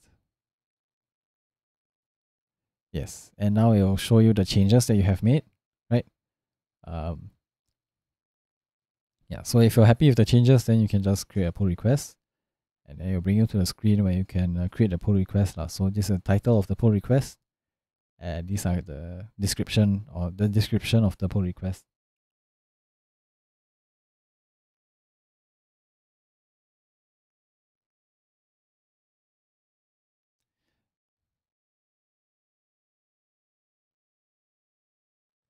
Uh, the URL is here. You can get it from here. Your make sure it's your fork, right? Make sure it's your fork, and then you go to the code or download download button, right? And then you can just use yeah, you can just use this URL, um, whatever it is, but it's your own URL, right? Uh, you you can't push to my fork, right? Mm.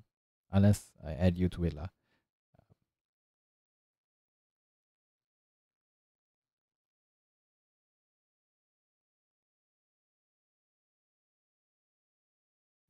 So again, uh, yeah, make sure you're at your, make sure you have forked, right?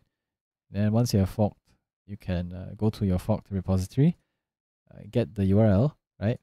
Once you get the URL, you can then push, you can add the remote and then push to it, right? So once you push to it, uh, you should, you can refresh the page and then it will tell you that you are one commit ahead uh, of the original repository. And at that point, you can click on the pull request button and then um, you can then create a pull request. Yes. And yeah, so you don't have to create it. You can if you want. Um, but this is how to create a pull request on GitHub, right? Uh, and then uh, the maintainer will review your changes, and you know if they if they're happy with it, then they will merge it, lah. or if they want, if they, they or they'll give you some feedback. Yeah. So this is how you create a pull request on GitHub. Okay. Can they review changes in CLI? I think yes, there is a. Um, but what do you mean by review changes? Uh, they can look. They can get. They can get the changes uh, from your PR and then look at it in the CLI. Yes. Um, can they accept the fork? Uh, they, can they accept the pull request? Yes. Also, they can merge it manually by the CLI. In fact, that is what I do. Uh, okay, I don't cover it in this uh, workshop. Yes, uh, but if okay, let me see who. Um, yes, so uh, nowadays GitHub has this automatic merge button lah. But what you can do is actually to, um, yeah. So you can see, GitHub will give you a link to the person's fork, right? And then you can then uh, you can check out, you can pull their fork branch, right? And then you can just manually merge it um, if you want, right? So GitHub does give you the commands, but you can merge it in any way that you want. So for one, the for one, right, uh, GitHub doesn't let you do a fast forward merge uh, via the website. So if you want to do a fast forward merge, uh, you have to do it manually. Uh, I don't know why they don't want to let you do a fast forward merge, but yeah, it's, it's just how it is, lah. All right. Okay, let me talk slightly about uh, commit message, uh, commit message discipline, right? So it's a convention in GitHub, uh, not, not, not in GitHub, but Git. It's a convention in uh, Git to have your uh, title, right, um, be phrased uh, imperatively. So the first line of the commit message should be a title, uh, and it should be phrased imperatively. So something like uh, change the greeting or add a file or delete something or improve something. So the first word is a verb, right? Uh, and it's phrased imperatively. La. Um, why is it like that? It's just convention. Um, you don't have to follow it, but uh, I think it's good to follow this convention.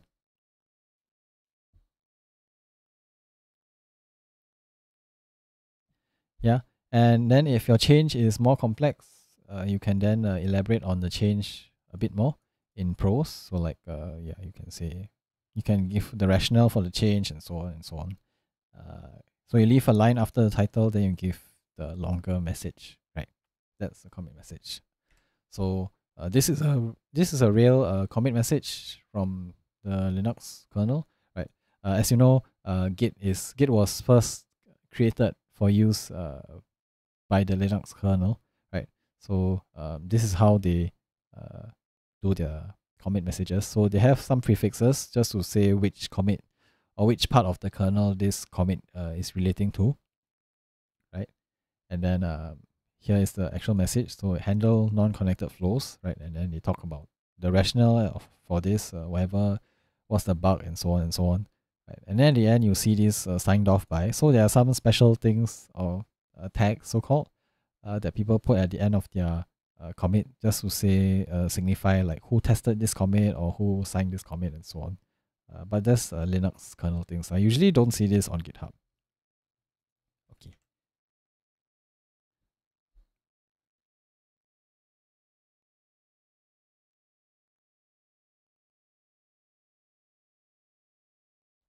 Uh, hold on. Uh, let me. I'll finish this, then I will help uh, you. Okay. Um. So uh, just one thing on GitHub is that uh, you can actually create a pull request between branches in the same repository as well. So you don't have to fork. Uh, like if you are working on your own uh, repository or your own project, right? And you create, uh, you don't have to like create a fork in order to create a pull request, right? You can actually just pull requests between a branch in the same repository, right? So if you want your partner or your whoever you're working on a project with to like uh, review something before merging, then you can just you can just pull requests between branches in the same repository. Okay. Um, okay. So this is what we've covered since the previous summary. So we talked about git log, uh, how to view the log, uh, git ignore, so how to ignore files, right? Uh, git checkout. So git checkout helps you switch branches, uh, but it can also do other things, right? I encourage you to look at the manual. Git merge, which is to merge a branch, right? Uh, git clone to clone a remote repository. Uh, git remote will help you manage uh, remote um, remotes. So like uh, basically it's just a list of repository uh, remotes that you save. Uh, and then you have git push and pull, right? So that's the summary since the last summary. So uh, we'll go for a short break uh, until about uh, say 2.55, right? And in the meantime, I will answer questions.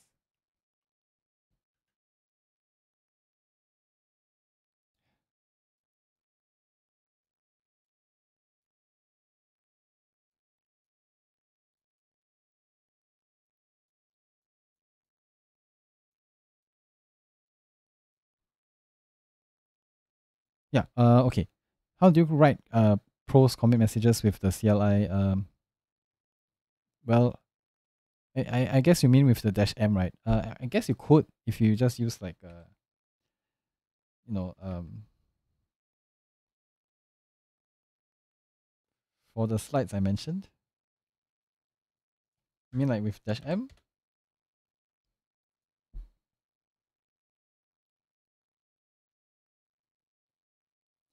Ah, okay. Um,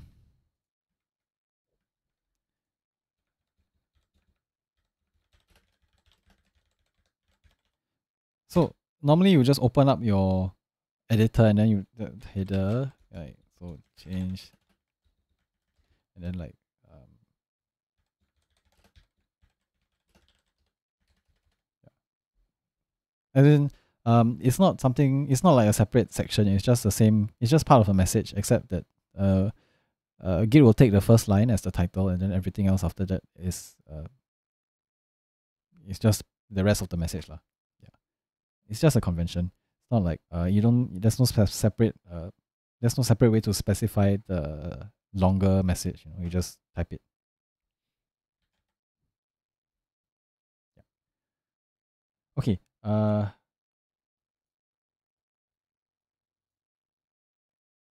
Yeah, you could do that also. Uh, I N. Sorry, I don't know. um. I N. Are you still having the issue? Um.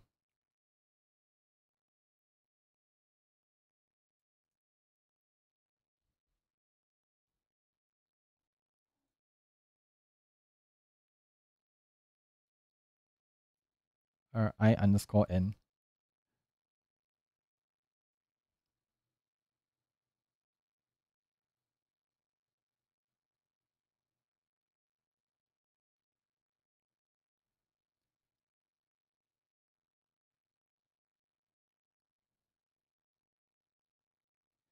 Functionality wise, fork and branch are the same. Uh, to Git, yes.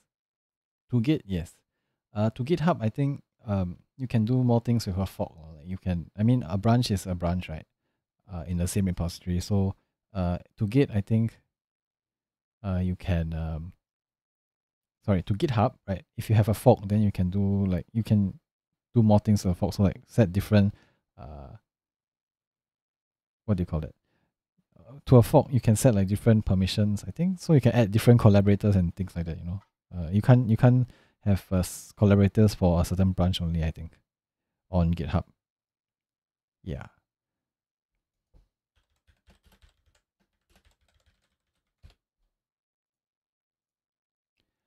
Uh, okay, if you want a slide, if you want a PDF version, right, what you can do is, um, okay, this this particular feature only works in Chrome. So I'm going to open Chrome? What you can do is do this, right? And then you can print it. And it will come out as a, yeah, it will take a while, but it will come out as a nice PDF version of the slides. But it only works in Chromium lah, or Chrome. It doesn't work in Firefox for uh, whatever reason.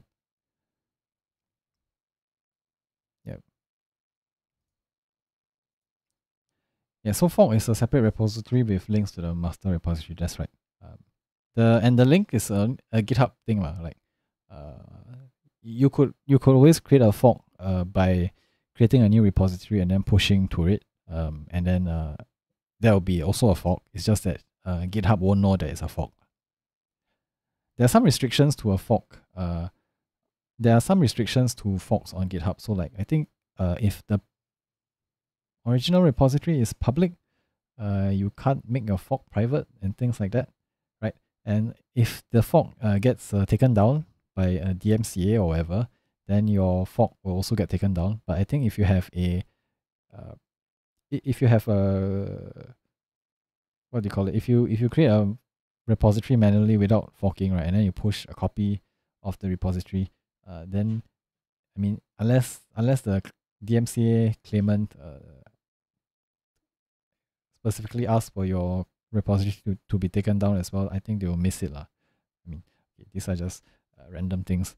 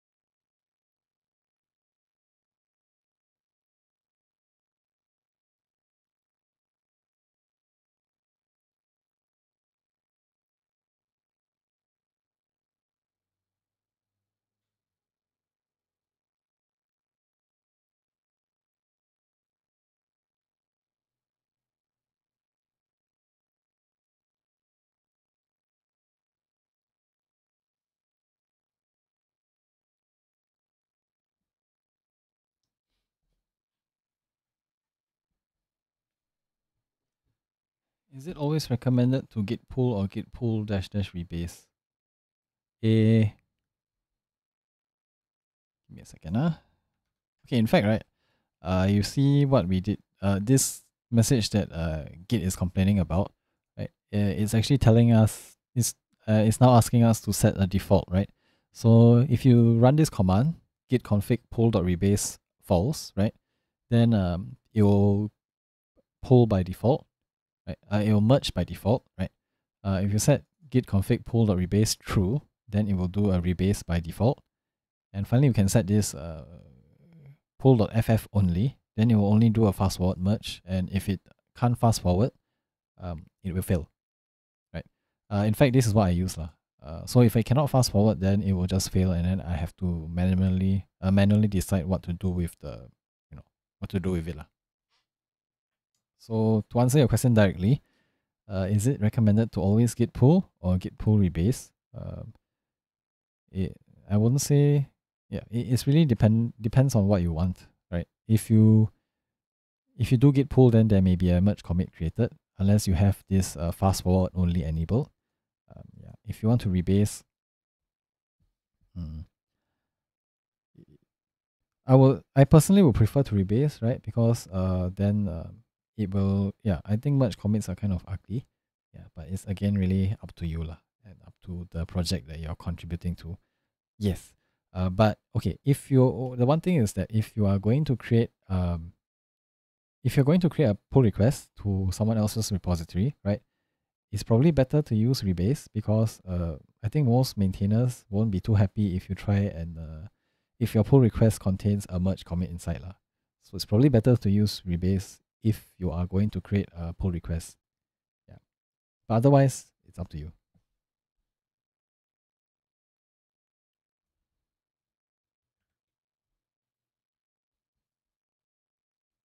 All right, uh, uh, let's continue then. Okay, now I'm going to talk about some uh, commit uh, manipulation, right? So actually, this is an extension to the original workshop, right? The original workshop actually stopped uh, at this point. Uh, this is a sort of an extension. Yeah, so we have about one hour. I don't think I'll take one hour, uh, so we'll continue. Okay, uh, so now I have we have our last repository that we're going to clone. So let us uh, clone this repository. So again, I'll paste the link into the chat just in case you don't have the slides open, right? Okay, so let me just, uh, again, I'll exit my current uh, directory. Oops. And I will uh, clone. Yes, I will clone into Big Repo. Uh, I will clone the Big Repo and right so let's look at this repository uh, so you can just look at the graph uh, so there's this new flag here which I'm going to introduce which is just one line basically uh, instead of showing uh, all the details of the commits right we just show a summarized that's a one line of each commit. So this is easier to visualize. Lah. Okay, so then uh, what do we have here? So we have uh, master, which is currently on this commit, right? Uh, and then we have um, another branch, which is new file. And that is, uh, we don't have it locally yet, but we can check out, we can check out new file and then we will have the branch locally, right? Um, so this new file has diverged from master, right? And then we have a few commits that are common to both branches. Okay. So, okay. So what are we going to do? We're going to look at revert first. Say, so uh, suppose we want to revert this commit? Uh, like we don't want the changes that were done in that commit, right? So what we can do is to create a revert commit, right? Which is basically a commit that is the reverse of some other commit, right? And that way we will revert the commit. So, um, yeah, so we're going to revert this commit, right? So what you do is git revert, and then you can just copy the hash, right? Uh, so the hash is much longer, but usually like a seven character prefix is usually enough for Git to know uh, which commit you're referring to. So we just revert that commit. And so once you press enter, uh, Git will bring you to the uh, commit, um, yeah, commit message editor, right? and it will generate uh this is a auto generated um message now so you can change it if you want right uh, but you can accept the you can just accept the default right and so now you have created a new commit right that is the reverse of this commit so uh, let's just look at this original commit first.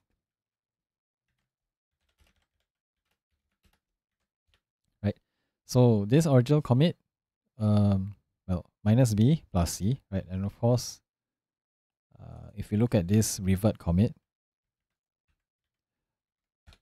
if you look at this revert commit, um, now it's of course it's the reverse of this original commit. Lah. Uh, just take note that your hash will be different from my hash because uh, the time will be different, the, the author will be different. So uh, don't copy my hash. Look at the hash that you got over here, and then you can look at the uh, particular commit that you created.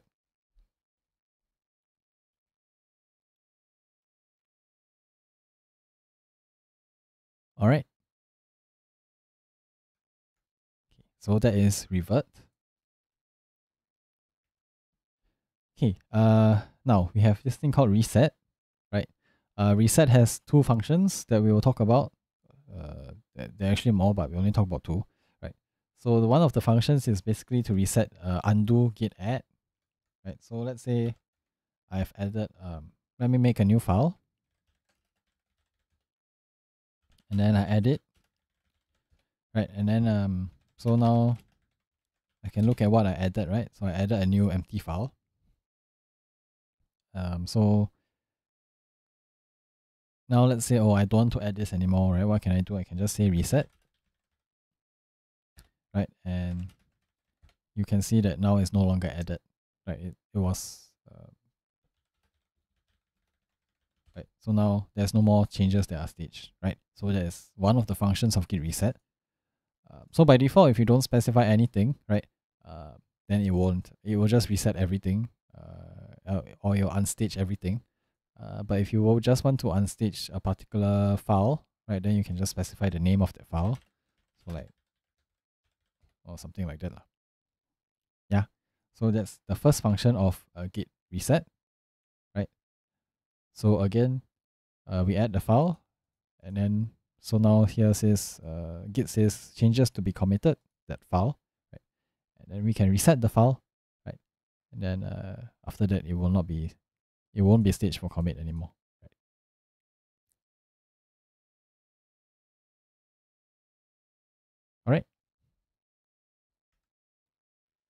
okay um now uh this is checkout uh earlier i introduced checkout as a way to change branches right?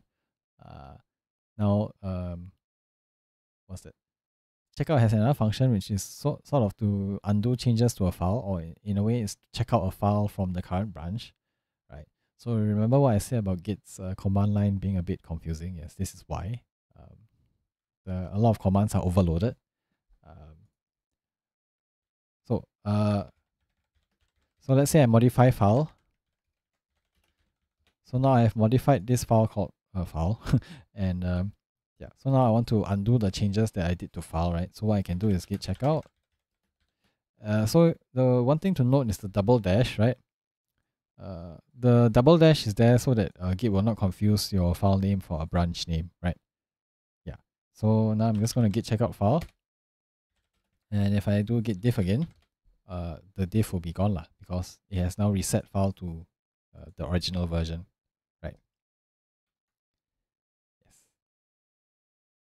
So that is the second function of checkout, right? Remember the first function was to change branches, right?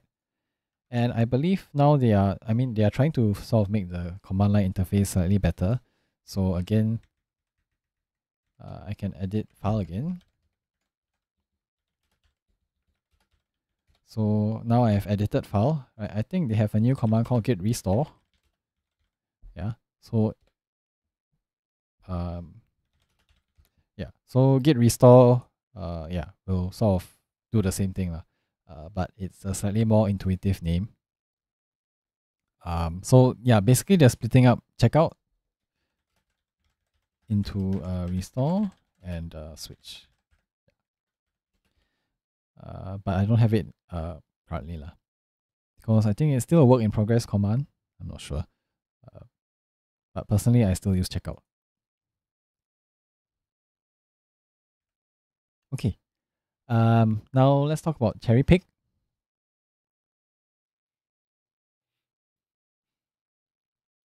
basically the idea of a cherry pick is uh, somewhat like a rebase. Basically, uh, let's say you want a particular change that is uh, in, um, in some branch elsewhere, but you want it in your current branch, right?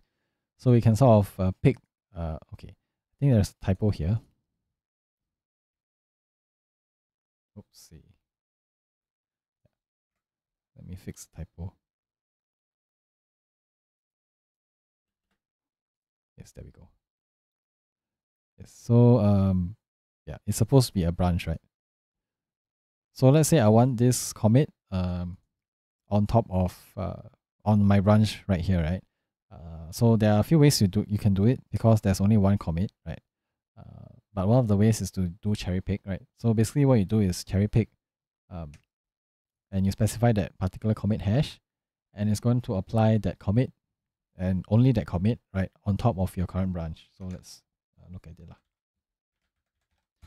So again, uh, we have our current um, status, right? And I want this branch, uh, sorry, I want this commit.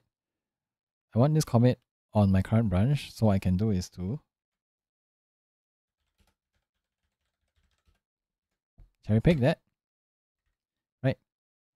And so if I now look at the log again, you can see that I now have uh, this, uh, yes, I now have this commit on top of my current branch.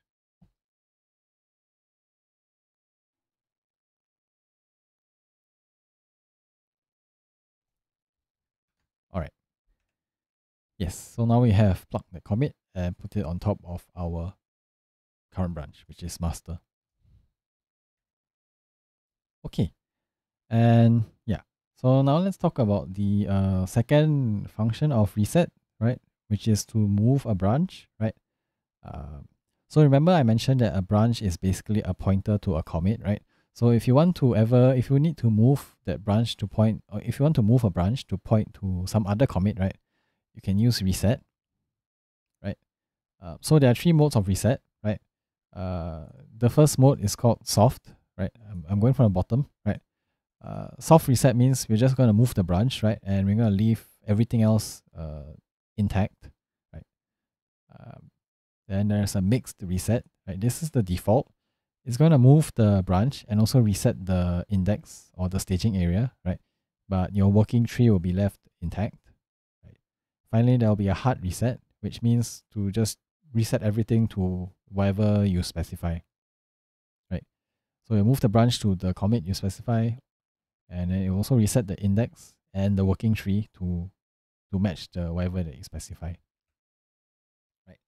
So uh, let's say that uh, I want to undo this commit, right? Uh, so there are a number of ways to sort of undo this commit. Uh, when I say this commit, I mean the one that I'm highlighting. Uh. So that means I want master to point here, right? Uh, so there are a number of ways to do this. Uh, one of the ways is to reset, right? Uh, and we can reset because what we're doing is just to discard a few commits off the top. Uh, if you want to like remove a commit in the middle, uh, then uh, you need interactive rebase, which I don't cover today. Uh, although I can cover it at the end. Lah. Okay, so let's look at how to reset uh, this commit, okay? So basically, uh, I'm going to do a hard reset, right? So basically, we're just going to do reset hard and then like uh, I'll just specify this commit hash, right? And um, yeah. So now again, if we go back to the log, you'll see that uh, now this commit is gone, right? And now master points to this commit. Okay. So that is uh, the second function of reset. And finally, yeah. So the warning here is don't do this if you have already pushed a branch, right? Uh, because basically, in order for you to push a branch, right, your current commit must be a descendant of whatever uh, the remote branch is at, right? Uh, that means you can only add, be adding new commits, right? So uh, you cannot like remove commits or you cannot like um, you cannot have commits that are not uh, you cannot have commits that are not a descendant of this commit, or or rather, you cannot have commits that are not a descendant of the commits that are on the uh, remote branch. Yeah, uh, unless you do a force push. Yeah. But uh, if you do a force push, it will be a bit of a problem when other people have already uh, pulled your branch because uh, yeah, they will have to deal with the conflicts uh, in the history. Yes. Okay, finally we talk about rebase, right? Remember we talked about the differences between rebase and merge. So, but if you ever want to um, manually rebase, right? So, for example, um, sorry. So, for example, um, you want to, uh, yeah. Uh, it okay. Reset doesn't remove a commit entirely. Uh, it just makes a branch point to uh, another commit. Uh, so the commit will stay around in Git's uh, sort of uh, database, right? Um, until you you do a yeah until some time has passed, and then it you can then remove it. Uh, let me show you this command called ref log. Uh, it's called reference log, right? So it just shows you where your current branch has been pointing to. So you can see that here, uh, yeah.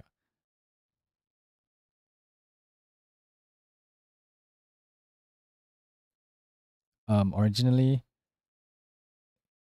sorry, yeah, I, I cherry picked the commit, right? So then it pointed to this commit. And then after that, I reset back to this commit. So um, as long as it's in the ref reference log, um, it will still be in the database. So you if you need to restore to it, uh, you can. Uh, there's there are ways to sort of clear the reference log and then after that clear the database. Uh, yeah.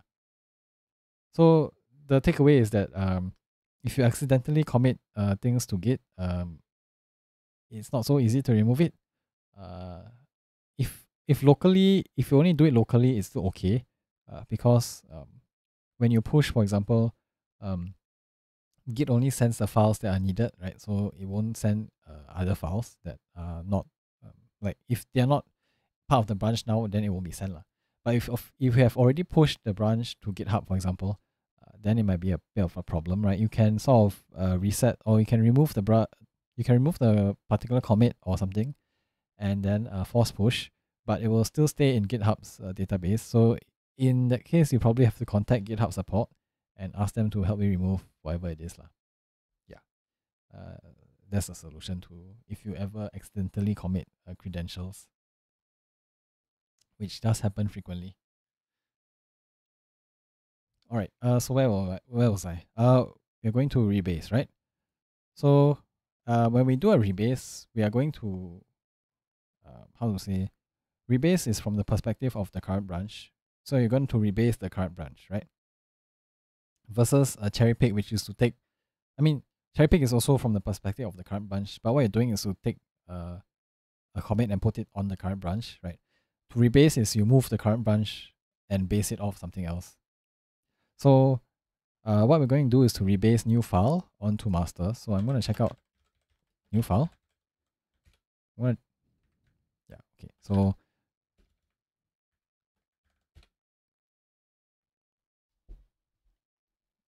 So you may have to do this dash dash at the end just so that uh, because yeah GitHub uh, sorry not GitHub but Git uh, sort of confuses it between a file and a branch right. So uh, if you put the dash dash after this, then it'll tell it'll tell Git that this is a branch right.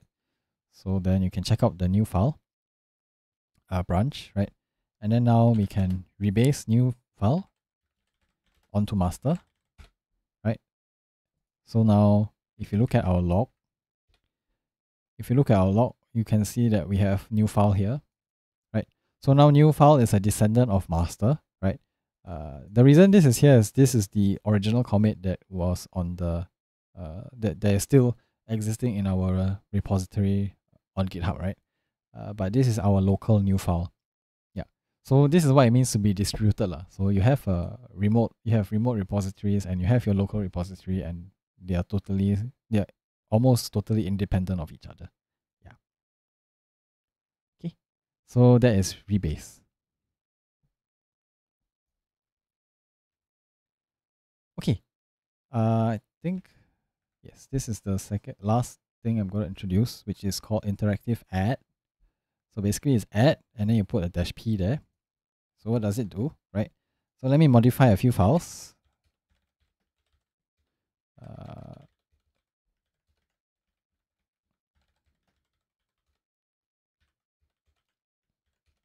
so I've modified two files, right? And um, so instead of uh, having to like, um, okay, let me change file to be different. Okay, so now you see I've added some lines uh, before uh, the original line. I've added some lines after the original line in a file. And then I have added just, I've just totally changed file 2, right? So um, what you can do is interactive add, right? So if you do git add dash p, then git will show you each change, right? And then what you can do is um, manually add, yeah, not manually, but you can then select it will go through each change uh, one by one and then ask you if you want to add that change or not? And then sometimes if you see this S here, right, uh, yeah, then you can sort of split the change into um, smaller changes. So like, let's say I only I only want to add uh, this particular change, then you can just type S, and then it will split it into as small of a chunks as it can, right? Then you can just say, okay, I want to add this one. Um, I don't want to add this one yet and then I want to add this one right so then now you can see that um, I have staged uh, what I have staged is this. Only the first part of the change in file. And I have staged the changes to file 2 right? And now if you look at git diff right? So these changes are still left over and I'm not going to commit those yet. So that is interactive add right? Uh, I think this is one of the commands I use the most right? Uh, just to sort of uh, especially when you know uh, you have uh, if you have created lots of or you have done a lot of changes right and uh, you don't want to just create one huge commit but you want to split up your changes into a number of smaller commits right uh, then you can use git add uh, dash p and um, then you can just add the changes you know that, that, that, that are relevant to each commit and you can create uh, smaller commits that are uh, how to say logical and, and self-contained. Okay. Yes, a word on editing history. So I mentioned just now that if you have uh, already pushed, you shouldn't use reset and so on, right? So yeah, some commands like the uh, reset and rebase and so on will allow you to alter the history of a branch, right? So you shouldn't do that if you have already pushed, right? Because then, uh, yeah. So if you already pushed and then later someone and then you sort of uh, force push or overwrite the history on the remote, right? Then um, if someone else then tries to pull from your new um, altered branch, right? Git will uh, treat them as diverging histories. So it, it will then try to merge them, right? And then it will lead to a lot of conflicts like, and messy, very messy Git histories.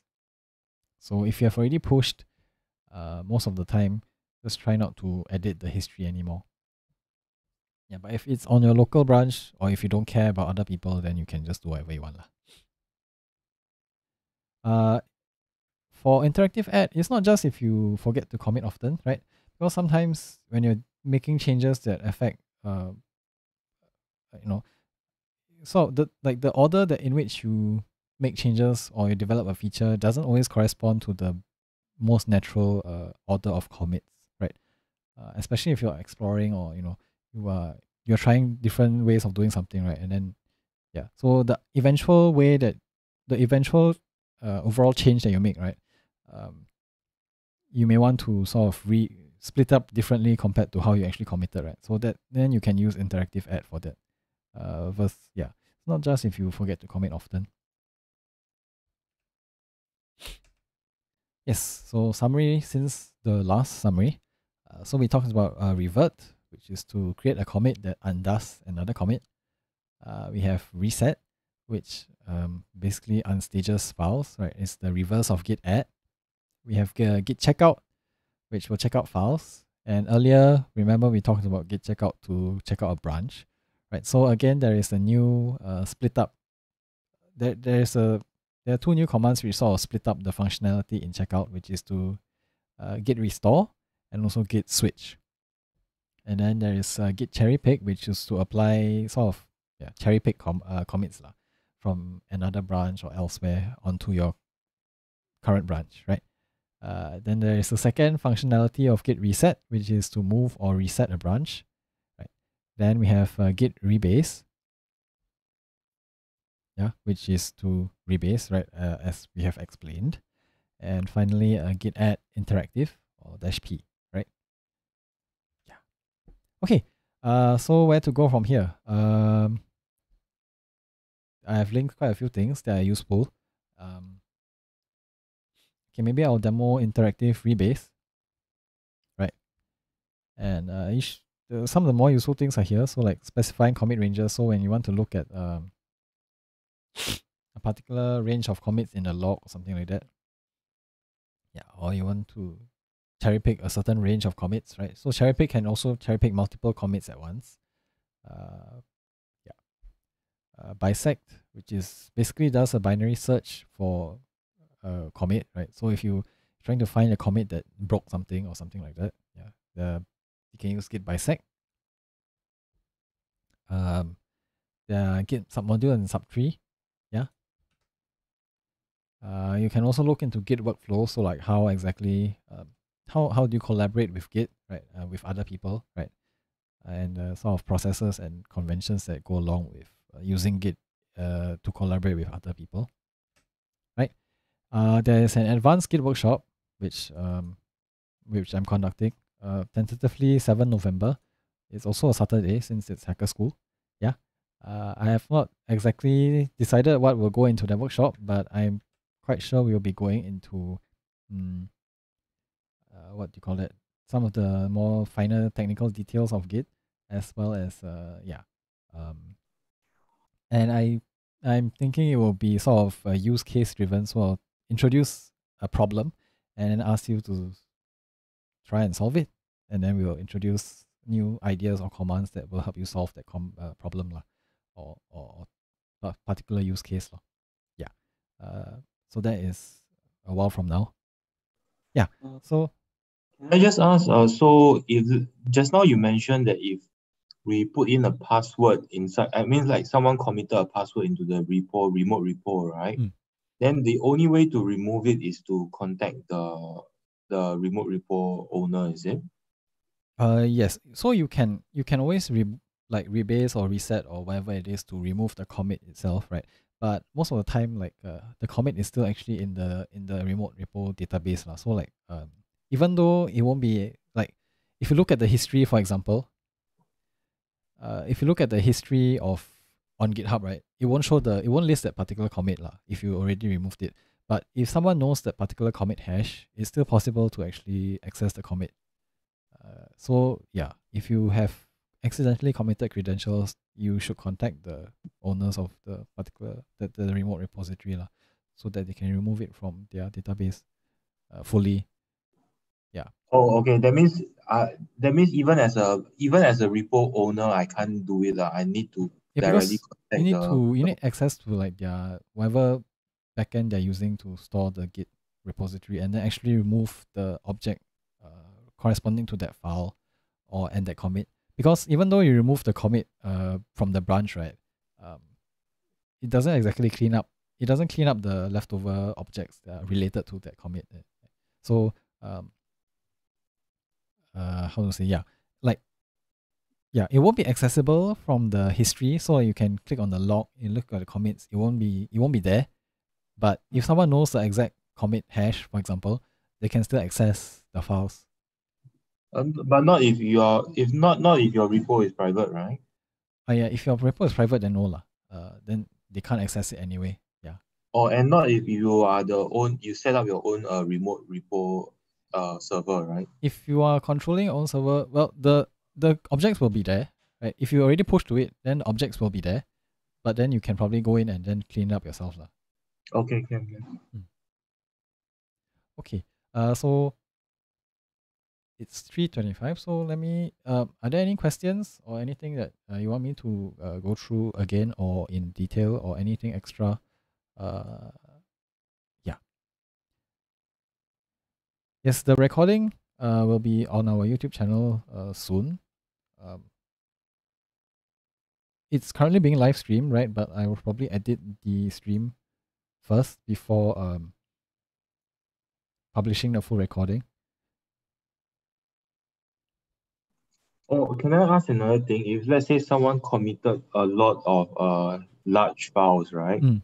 And uh so essentially the dot git uh the dot git uh hidden folder is kind of uh, full of these large files. Yep. Uh, what would be the best way to actually remove these large files from there? Well, wait, yeah. So I I assume you have already removed the commits that are the offending commits, lah, right? Yes, yes. Yeah, then okay. So what you can do, right? Um, basically, you need to make sure that um, just now I showed the ref log, so you just need to make sure that it's gone from the ref log. So I believe you can, yeah, here you go. You can sort of force the ref log to uh, expire everything, right? So uh, I need to check the menu.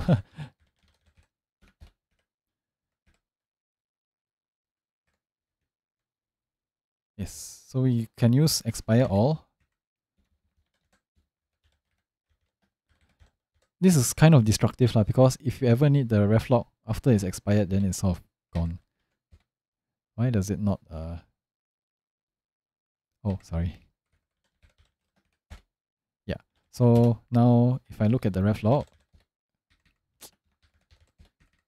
yeah, it should be empty now. So you need to expire and then spec- specify that you want to expire everything and you want to specify to expire all, uh, process all ref logs, right? So once it's gone from the ref log, you can do this thing called GC, which is garbage collect, and it should clean up. Um, yeah, yeah, you need to do this uh, git prune. Uh, what's sorry? Yeah, you need to sorry. You need to do this right. Git GC prune now, and that will clean up all the uh, unused objects from the uh, Git folder. Yeah, and that should remove all the large files as long as you have already removed it from the repository. Thank you, thank you. Yeah. Okay. Uh, so let me talk about uh, interactive rebase, right? So uh, basically, right, you can do this thing. So just now we looked at a normal rebase, right? Uh, an interactive rebase is sort of like a normal rebase, except you can sort of control uh, exactly what Git does. lah. So basically what you do is specify dash i, right? And uh, you again you specify where you want to rebase onto. So in this case, uh, let's say, okay. So let me say I want to rebase onto this commit, right? Uh, so actually, if you do this without uh, interactive rebase, this is actually a no op. Well, this does nothing lah because uh, this is already a descendant of uh, like the current branch I am on is already a descendant of this uh, init this commit that I want to rebase onto. So if I do this, but oh, okay, let me reset. Okay, now if I do this right, uh, it's up to date. It tells me that there's nothing to do lah. So what I can actually do is uh, specify dash i, and this will make it an interactive rebase, right? So when I press enter, it will bring me to this thing, right? Uh, basically, here what you can do is uh, select. So this is the commits in um, oldest to newest, right? Basically, yeah.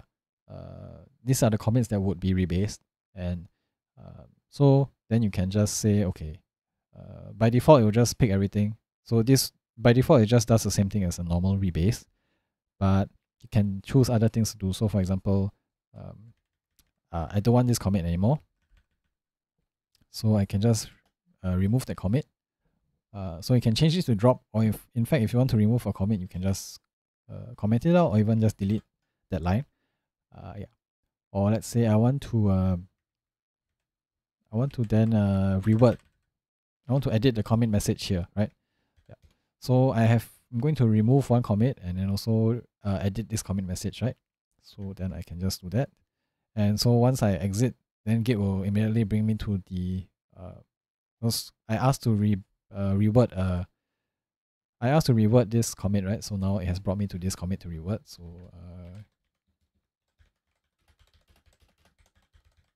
yeah, yeah. So then yeah, after that is done. So now if I look at the log again, okay, log is a bit messy now. Uh, let me remove all. Okay, so you can see that uh, we have our initial commit, right? uh, and uh, this commit, which is still the same, it still has the same hash because that those commits were not changed, right? Uh, but now this commit here, right, um, has um, I've changed the commit message, right? So from this point on, you can see the branches have diverged because I have now modified the history? So this was the original commit before I modified its commit message. This is the new commit, right? And then uh, I also let's see. I also dropped this commit, right? Yeah, I dropped this commit. Yeah. So then this is the new, this is the commit that is on top now. Uh, after I dropped the, this revert commit. Yeah. So that is uh, interactive rebase.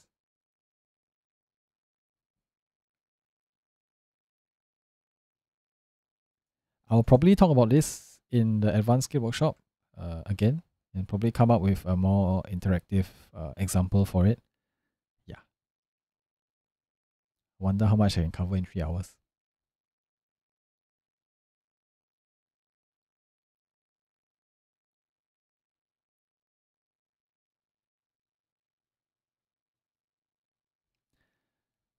All right. Um, I will just hang around for a while if you have any questions. Uh, in the meantime, I'm going to eat my lunch. Thank you. Hey, thanks for attending, everyone. Uh, please, uh, okay, wait, before I forget, yes, there is a feedback form here, which I will paste into the chat. Yes. And again, the slides are here if you don't already have them. And uh, if you want to print a PDF of the slides, you can do so by going to the second link, uh, print PDF link, right? uh, it only works in Chrome. I think on Firefox the page size is wrong.